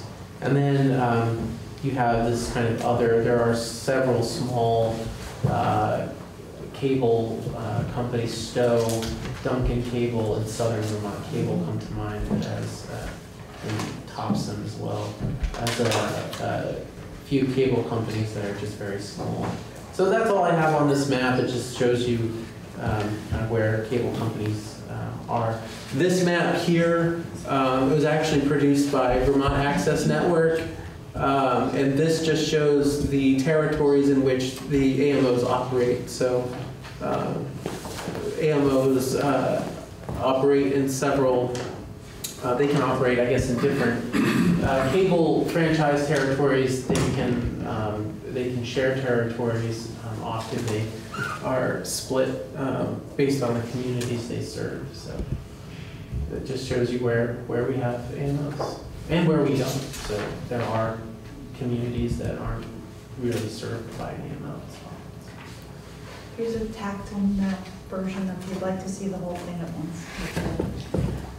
Um, May I, Question. may I just, oh, Yes. uh, Um, question. Go ahead, go ahead, you go. Uh, so, for instance, Shore, Shoreham and Orwell, uh, are, is there service from New York at all? Like on those border towns? Mm. Um, no, if a cable company wanted to build anything in those towns, they would have to come to the, um, the Public Utility Commission. If there is a cable company selling cable for, for money there, um, and, uh, they don't have a CPG, that's, that's a problem. Um, But, uh, no, the, they probably are not receiving service from New York, um, unless that company is gonna go to the Public Utility Commission.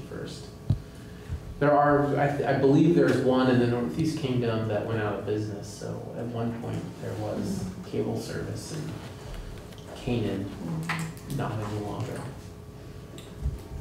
So my question, I think, is for Dan. Um, So I know that, um, in particular in Charlotte, it's not entirely covered by by Comcast. So um, there was a situation where uh, a community wanted to uh, get cable in, and uh, because of the the low density of the uh, uh, development there, uh, Comcast charged each resident that wanted to hook up a certain fee for putting that in. Um, Is that um,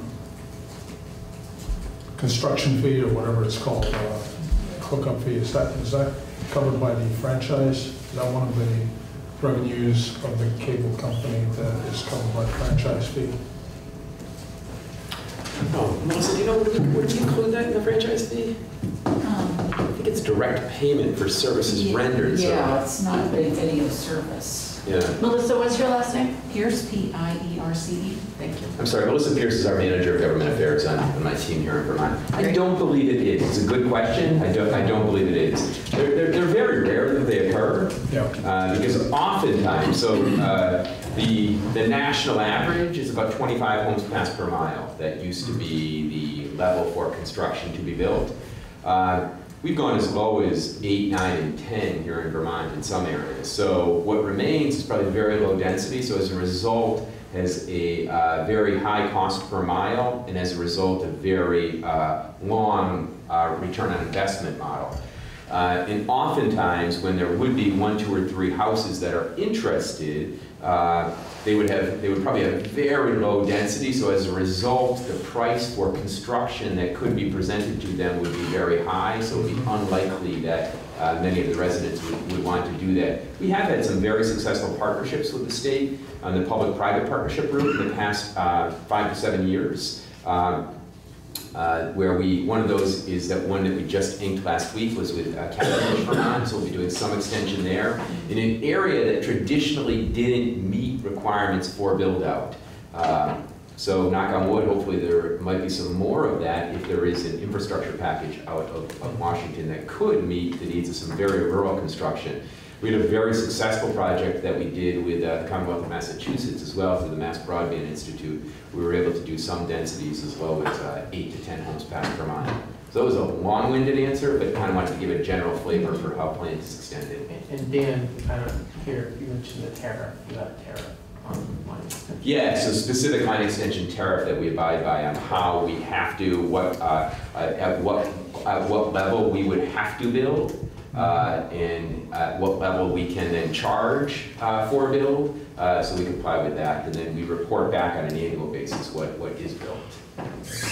But those build-out fees are not included in the uh, revenues that you count toward the I don't believe so. Okay, I Don't believe that's so. my question. We might have more to report at our next meeting on build out. Right.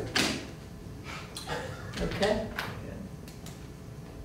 Questions, clarifications?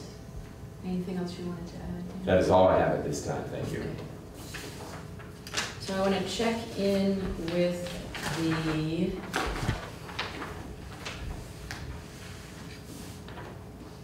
check in with the committee here. Do, do folks need a break to stretch, get a drink, use the bathroom, or should we move on? Keep going?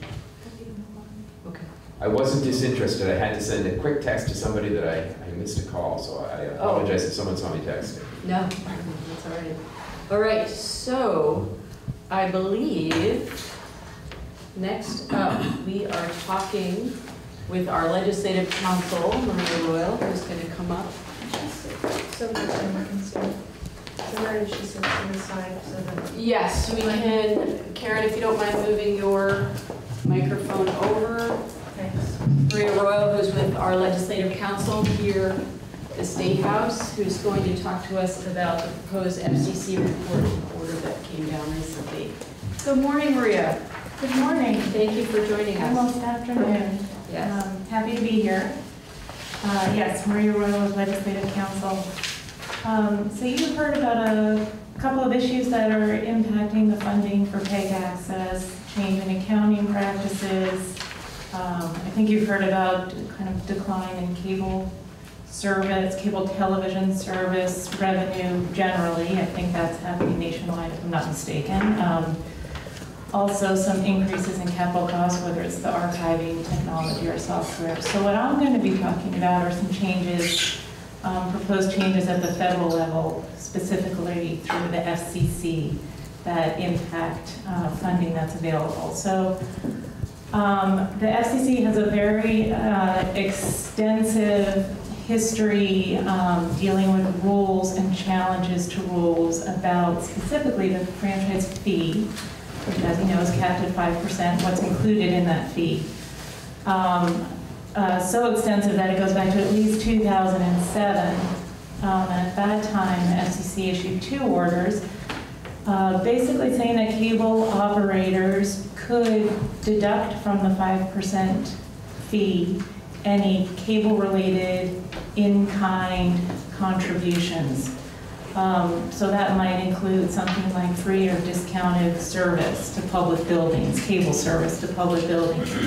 Um, That those expenses could be deducted um, from the total amount of money that's available uh, over and above that. So that issue, um, there were some petitions to uh, reconsider, and I'm limiting myself, the, the orders did include m- other things. subjects. And so- absolutely. So I'm just talking about the fee. And so, and you said, so 2007, two orders. 2007, There were two orders. One, and do you want to tell us what the second, what, or do you want to? Uh, How do you wanna- uh, The second one, basically, I think just uh, uh, explain that the, the rules in the first order would apply to incumbents and not just new entrants. And Okay. I think for purposes of this dis- discussion, that's maybe not quite as relevant, but, but I think that's why there were the two orders. The Yeah. first order was challenged um, in court, but those peti- petitions were denied. The second order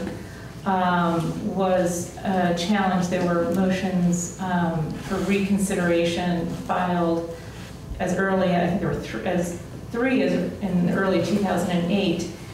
Um, But the FCC did not issue a reconsideration order until 2015. So a lot of time has elapsed um, just to get to the reconsideration order.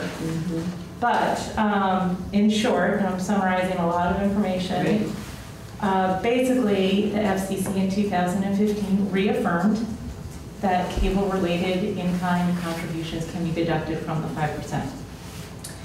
That order um, was uh, appealed, and there was a Sixth Circuit opinion. Both the most recent FCC order, which I haven't talked about yet, and the Sixth Cir- Circuit opinion are online on the webpage, should you desire to read them. Um, And basically, the uh, court said that the FCC uh, failed to adequately explain the scope of the in-kind contribution, what does it mean? And the reason why I'm giving you all this background is, is because that gets us closer to today and the issues of today. Um, So in 2018, last fall, the FCC issued a notice of final proposed rulemaking where it greatly elaborated on what constitutes an in-kind contribution. Um, And just recently, on July 11th, uh, issued a proposed final order, which has not yet been adopted, but is likely to be adopted in August. So um, that sort of quickly covers a lot of history, and this is, I think, typical for the communications industry, that there is a lot of back and forth, and there's a lot of litigation and a lot of jurisdictional issues, and they're constantly evolving and playing out in the courts, in the FCC, and then the states are responding. So what, um, Um, I have a Yes. question, Brenda. Um, When the, uh, in terms of deducting from the franchise fee in-kind contributions, are they, is that deducted um, before the franchise fee is assessed, or is that a deduction from the, if the 5% is calculated based on revenues, and then the in-kind contributions are deducted after that? I- I'll defer to um, I mean, that's part of the gen, the the cable in companies, the department price, I to, guess, you right? know, kind of flesh it out a little bit more how it actually takes place on the ground. That's helpful. Yeah, so is it after, after the fact deduction? uh, Yeah, We don't have any in-kind deductions that take place today, Oh, okay. so Have they been estimated? no estimates. And I should just mention that Because they, in-kind does happen, though? Like, there are in-kind contributions that Correct. are made, but Yes. they just haven't been deducted, and they, have they been monetized, or are they monetized? To, Uh, We have not done it, uh, so monetized in the sense that if you looked at an individual in-kind uh, grant, you could determine what the value is, but monetized from the sense of what, how it would impact the uh, 5% payment in a particular franchise area, no. So, for instance, free service, free video service to a particular school that might have been required in a franchise in Western Massachusetts, we could say what that value would be, but whether or not what its impact would be on franchise, franchise fees has not been determined. And is it voluntary for the company for, to, to make these changes?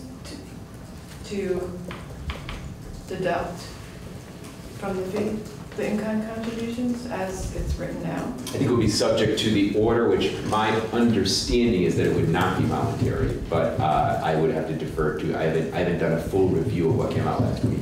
Okay, so That's all. Can you say that doesn't happen in Vermont?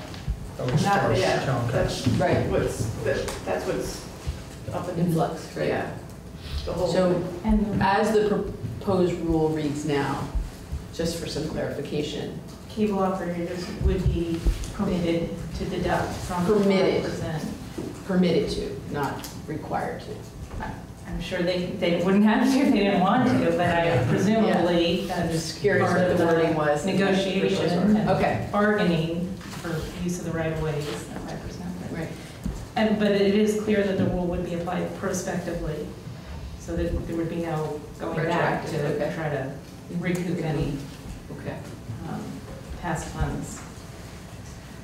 So, um, the other kind of issue that's looked at is, um, and you've heard mention of this, uh, the capital costs that are over and above the fee.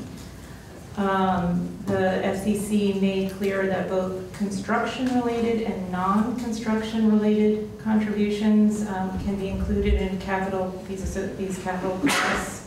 So you could have things um, such as, obviously, a construction of PEG studios, um, but programming equipment, such as cameras, potentially the archive software that's required, um, Would or would not be allowed? would be included in capital costs that are not subject to the 5% cap.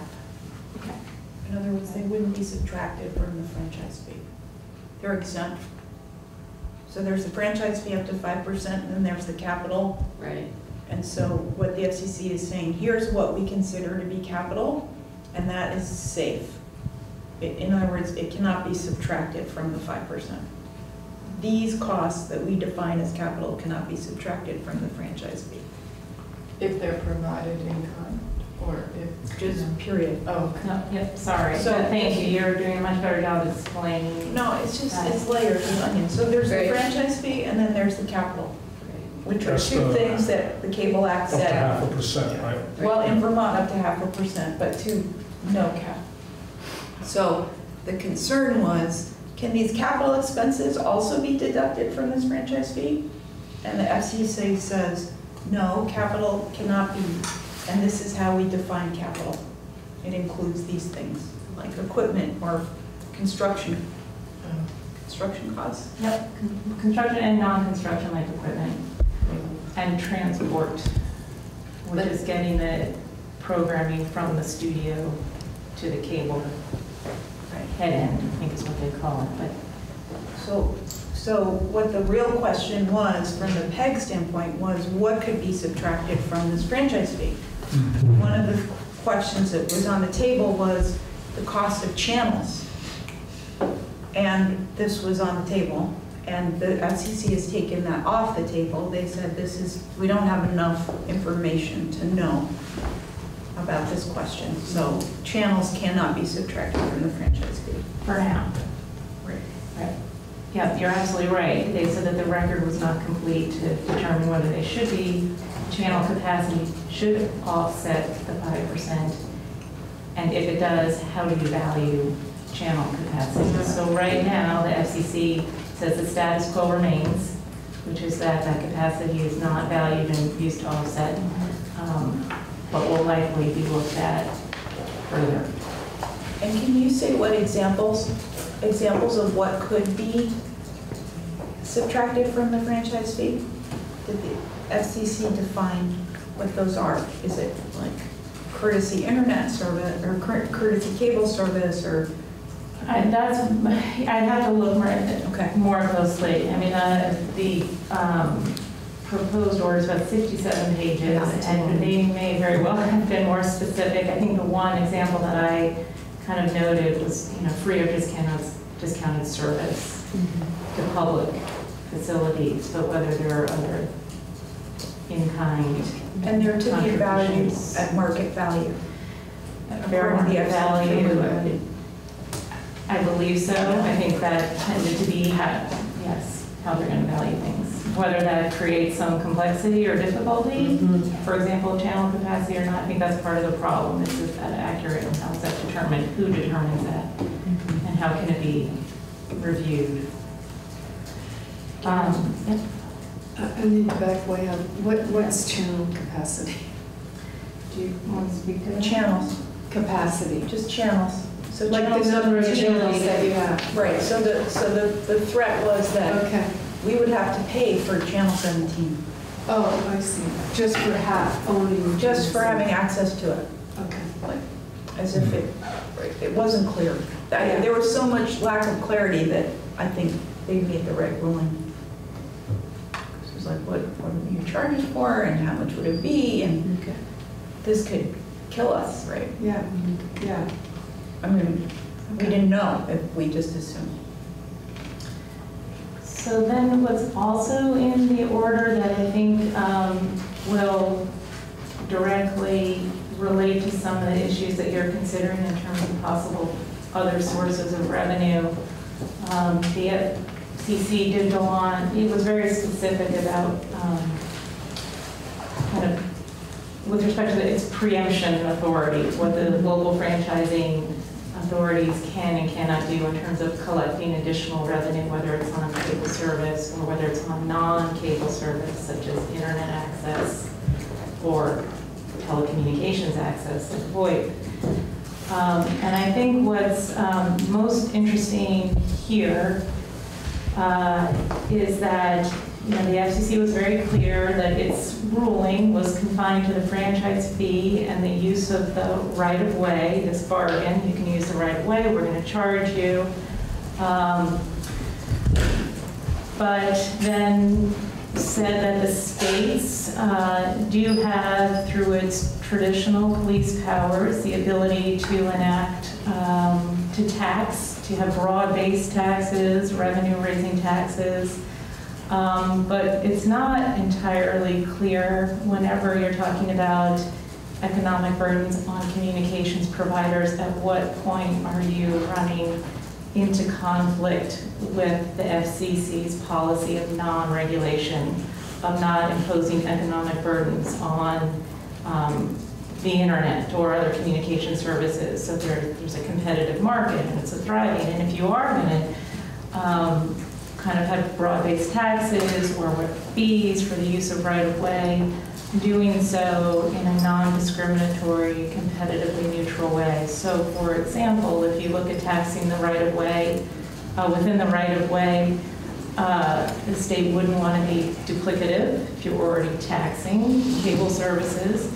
Um, But also you might want to consider, well, we might be capturing this group of communications providers that has facilities in the right-of-way, but are we capturing the satellite providers? And so this ability in the state's jurisdiction to, to regulate and, uh, you know, other than just an income tax or corporate tax, you know, really broad, you're going to get into these very specific issues of making sure that the entire industry is kind of treated fairly or neutrally. Is the universal service fee and USF charge fall under the taxation authority? Uh, uh, So the FCC talked mo- mostly about the local franchising authority's ability to tax, but it was broader in terms of saying, well, the states do have their traditional police powers. But yes, so the the USF, the Universal Service, state USF does fall within the state's general authority to raise revenue.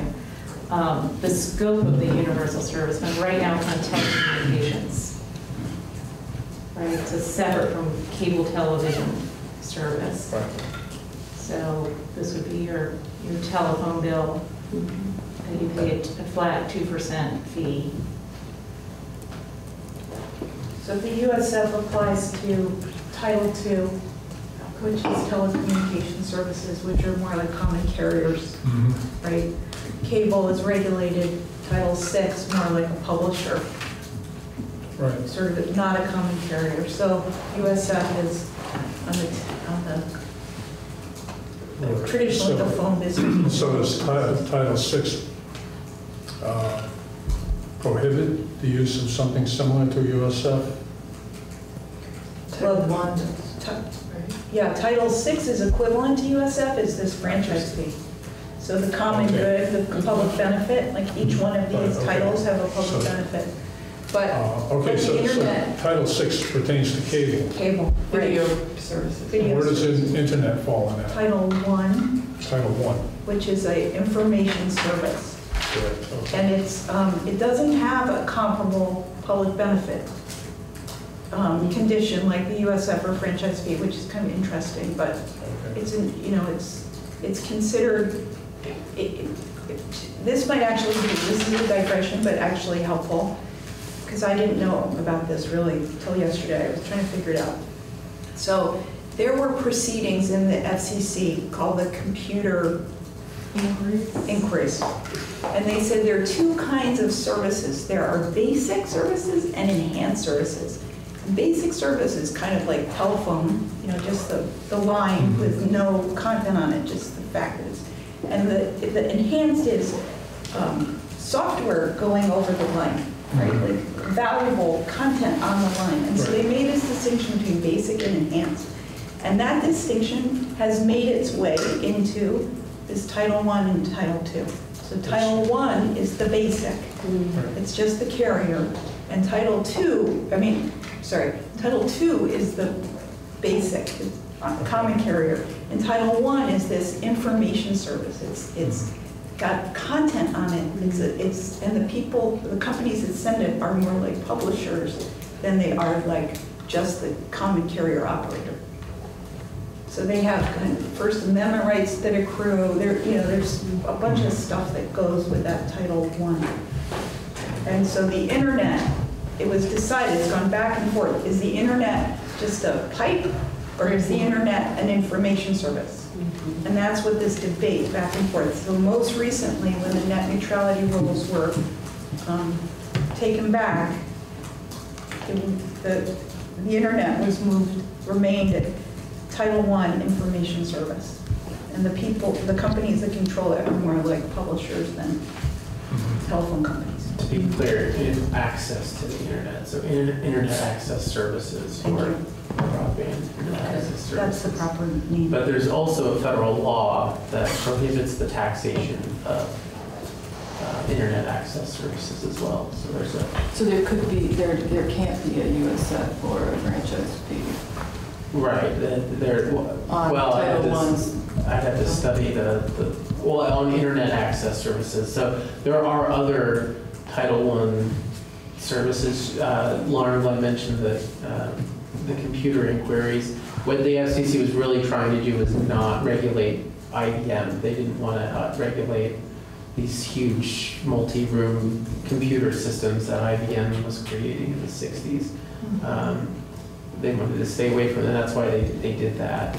Um, But the, the federal law that prohibits the, the taxation of internet access services is just that. It's a simple, very straightforward law that, The Internet Tax Freedom Act. yes, the Freedom from Taxation Act, or, I might be confusing that with another, Well, there's the Internet, there's the Internet Tax Freedom Act is the one you're talking about versus the Internet Freedom Act, which is the net neutrality deal. Yeah, oh, yeah, the- well, yes. There are, I think, a half a Lot of dozen laws that was gonna free say, the lot of internet. freedom. Lot of freedom. America. Taxation, yeah. Okay. And the franchise fee and the, um, the franchise fee is considered a tax in that vein. Is that, Uh, it's a fee on cable service. well, I meant, it, it, could there be a franchise fee on, or some, is that considered to be a tax though? Like, it, I would look at Maria on that question. It, uh, It depends what it's used for. I mean, there's a whole body of case law on the difference between a tax and a fee. So it depends what, is it general revenue raising, then it's more like a tax. Is it a fee commensurate with regulatory authority or use? You know, so it would depend. So is there any way to, like, one thing that Lauren Glenn just said was, there's no public benefit condition on the Title I services. Is there any way to add that without, or would have to be, like, how to, how to fund that? Or would that be considered, any way doing that, any way you do that, would that consider, be considered a tax? I think that's going to be an issue of, you know, the the FCC's definitions mm-hmm. and determining what the policy is with respect to the inter, the internet and broadband. And right now, it's a policy of non-regulation. Okay. And there are challenges. I mean, all of this is being litigated, and there are challenges about, you know, is, is that, has the FCC gone too far in preempting state authority to exercise its traditional police powers in the interest of the public welfare? You know, is, is internet more like a utility? What is it used for? You know, and, and should there be, I mean, these are all major policy issues, and they're all being litigated. Um, So there, are there other states that have implemented something that's in litigation now, or? Well, the order itself has been challenged, the FCC's Restoring Internet Freedom Order, um, where it reclassified broadband internet access as an information service to be free of federal or state regulation. Okay. Um, And then there's a separate federal act um, that prohibits states from taxing the internet. So there are a couple of okay. Federal laws, but that FCC order has been challenged, including by Vermont. I think there are 22 state Okay. attorney generals who have challenged the order on numerous grounds, both procedural and substantive. Um, And I honestly don't know the status of that. It's a hearing maybe in the spring, or late. So whether we're talking about telephone, cable, video, video, uh, internet, um, those are all services. And they're governed by these different titles by the FCC. And what, regardless of what type of service is being provided, every service requires some infrastructure, whether it's um, cable lines, fiber optic cable, um, satellite, or anything else. Can a distinction be made legally between the authority to ser- attack, uh, to tax services versus the authority to tax infrastructure? Uh, You can make a distinction, but what the authority is, is going to vary based on the service. So if it's an information service, like internet access, then the state's authority is very limited, right? So can you can you look at the infrastructure as being, regardless of what the service is being provided, as, as something that, that can in itself be taxed? For instance, a utility pole, for instance, the wire, for instance, the satellite dish. Right.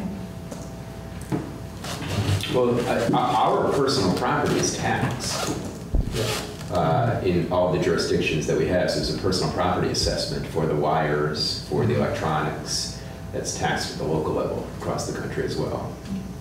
You, you pay generally applicable taxes. Yeah. Was there something else, Mike, that you were trying to tease out? No, I'm there? just going down that particular path of thought. Yeah. Maria, what else do we need to know? I know I'll need to know a lot. Um, I mean, you know, you're having a discussion about what is the impact on current revenue, right? What's going to happen? Do you want to do the policy matter find additional revenue or? So, So- So, actually, so it sounds like there are certain avenues that are basically closed to us in terms of looking for revenue. I think there are, there are some that are closed, there's some that's just not clear. Right.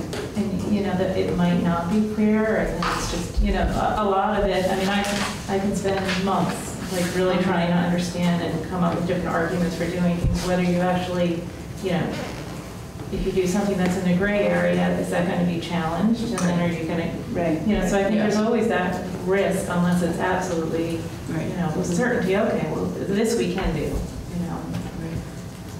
So.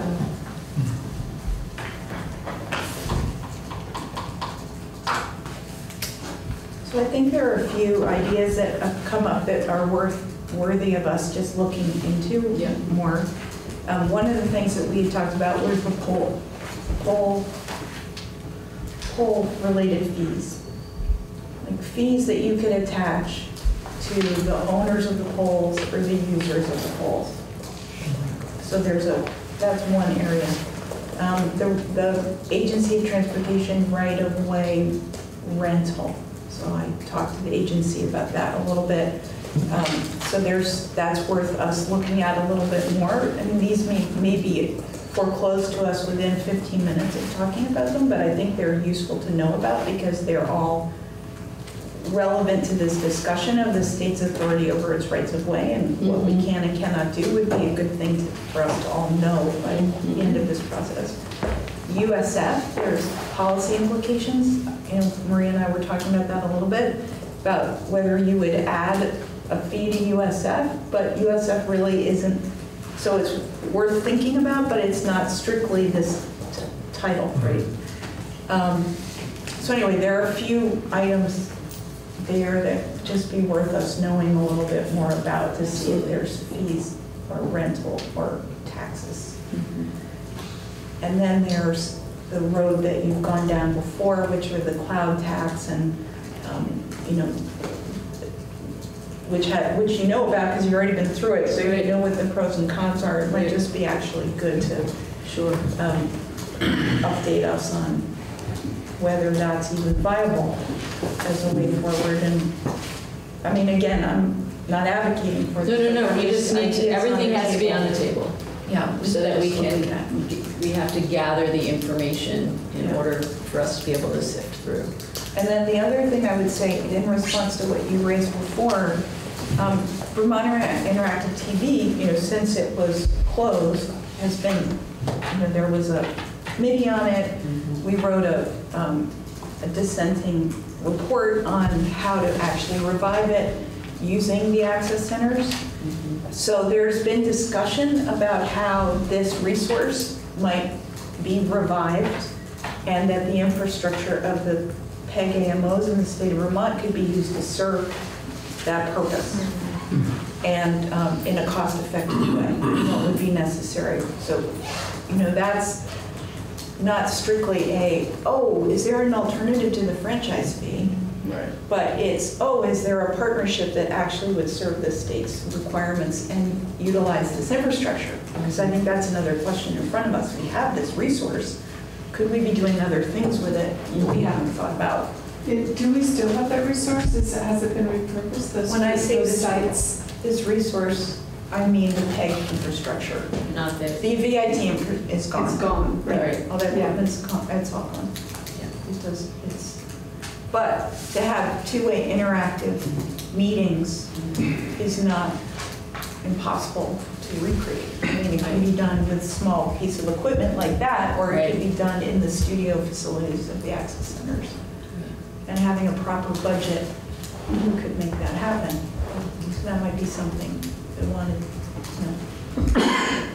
We, so we could talk more about that. So we have about 12 minutes left, and Lauren Glenn, you did a great job just now of bringing up some topics that we need to get some more information on. I'm wondering what else, I'm going to circle back around, Andrea, to your questions earlier, and other things that are bubbling up in people's mind that we need more information on, witnesses that we want to come in. Um, Certainly, you're not going to be limited by this brainstorm session. We can certainly continue um, emailing after this meeting to get the agenda topic, um, topics for next time. I want to be sure to tell the folks who are watching on ORCA that if you want to come testify, we're going to be starting each of our meetings with um, 15 or 20 minutes of um, public comment. And our, the information about our meetings are posted on the legislative website. So what other topics are on your minds that we need to get down on paper so that we can figure out the next couple meetings? Um, I'd actually like to hear a little bit more about um, AMO governance and um, how AMOs operate and how they decide to, um, how they make decisions about spending their money. Um, It's not, we don't actually regulate AMOs, so it's not something that we necessarily look at. Okay, So I'd be curious to see how, um, how they, um, the revenues that they receive are uh, spent. And Maybe in that discussion, uh, one or two reviews of an annual budget. And maybe also how coordination occurs with the AMOs if if it does. Yes, that's important, just like examples of resource sharing and. okay. And Maria, you should feel free as our legal counsel to weigh in on topics that you think have come up in this discussion today that we should perhaps delve into a little bit more. And we might, uh, the, the three of us will keep you informed, we might be better positioned at our next meeting to give an update on uh, the CPG process. Okay. For Comcast. Correct. Yeah. For Comcast. Is that what you said? Yes. Okay. Yeah, The appeal. Yeah, So I think um, probably the best way to handle some of these questions would be to invite some witnesses. yes, Absolutely. agreed. So, And um, those of you, there are several of you at the table that probably have in mind who some of those individuals are and should feel free. You don't need to say it now, we can talk um, afterwards about who we should invite, who we want to hear from. Um, Andrea, do you feel like there are bits of what you mentioned earlier that, that are not represented in this list that we should? Um, I guess, uh, I don't know how to have this play out, but sort of what are the, what are our actual options? I know, you know, the legislative direction is consider alternative regulatory and funding mechanisms, but a brainstorm of, you know, what, what could these actually be? Right, do we have any? Yeah. I mean, that's sort of what I'm, Yeah. I'm like, and that, that's where Marina's gonna be critical to say. Right. This, like, there's a You can't roadblock actually you can't this. actually do that. Yeah. And so I think that would be um, really useful for all of us. What are our actual options going forward? And so that we can really focus on those options and not get sidetracked on Yeah, things that just and I think the aren't. sooner that we could do that, Okay, the better, you know, so Yeah. at the next meeting would be. yeah, would be and I think but- Lauren Glenn's list Yeah. um, sort of goes to that question as Yeah. well. It's Yeah. like, let's, even if it's a few minutes of having someone come in and say, you know, here's the background, you can or can't do this, and then we'll, we'll be able to call through. Um, Well, I wonder if Green Mountain Power, i- is there any value in having Green Mountain Power come in on the pole, the pole attachments? Or is that more a utility person should talk about the pole?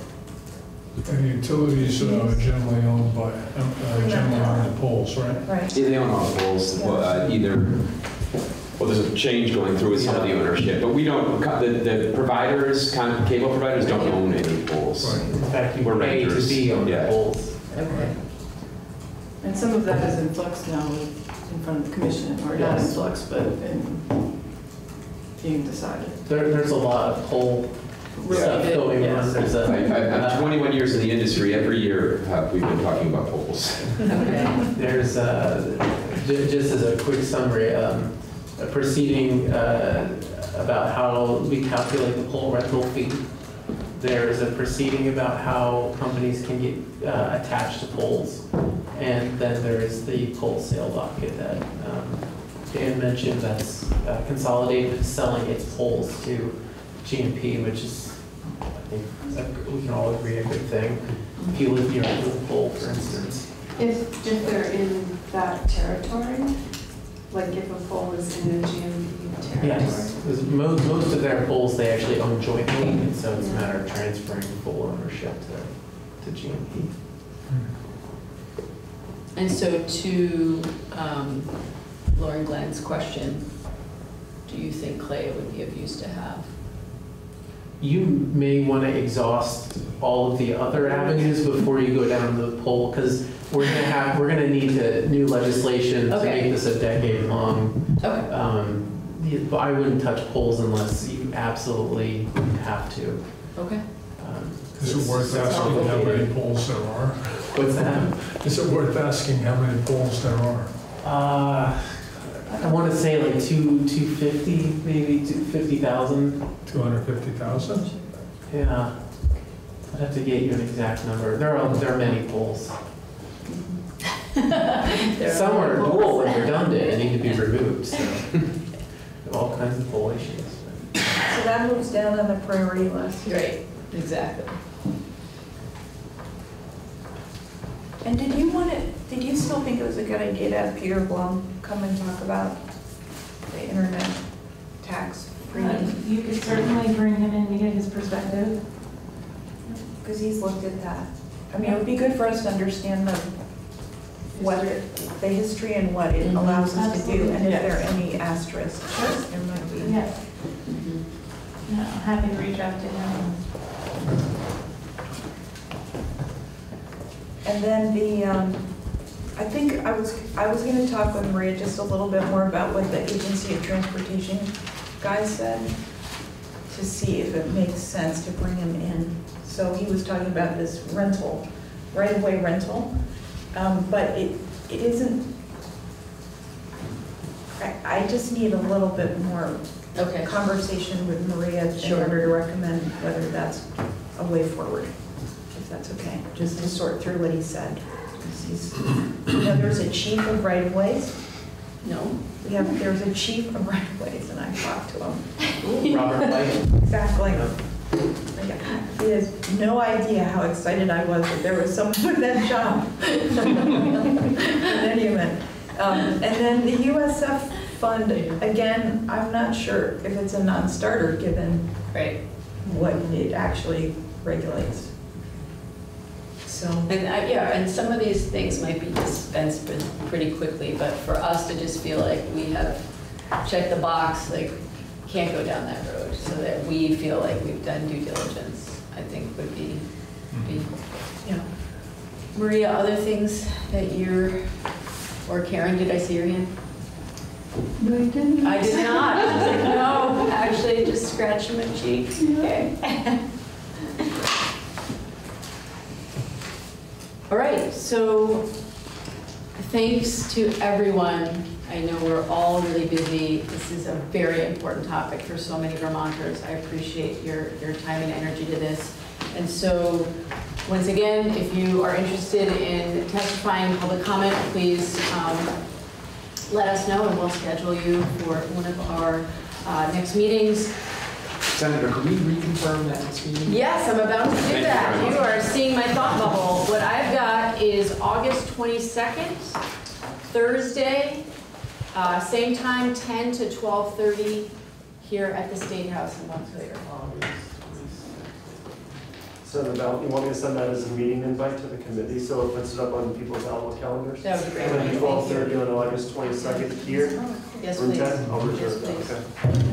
Special thanks to Mike Ferrant and Yes. to Maria Royle and to our counsel from JFO who's here. Thank you very much for your time. It's very much appreciated. Okay, thank you.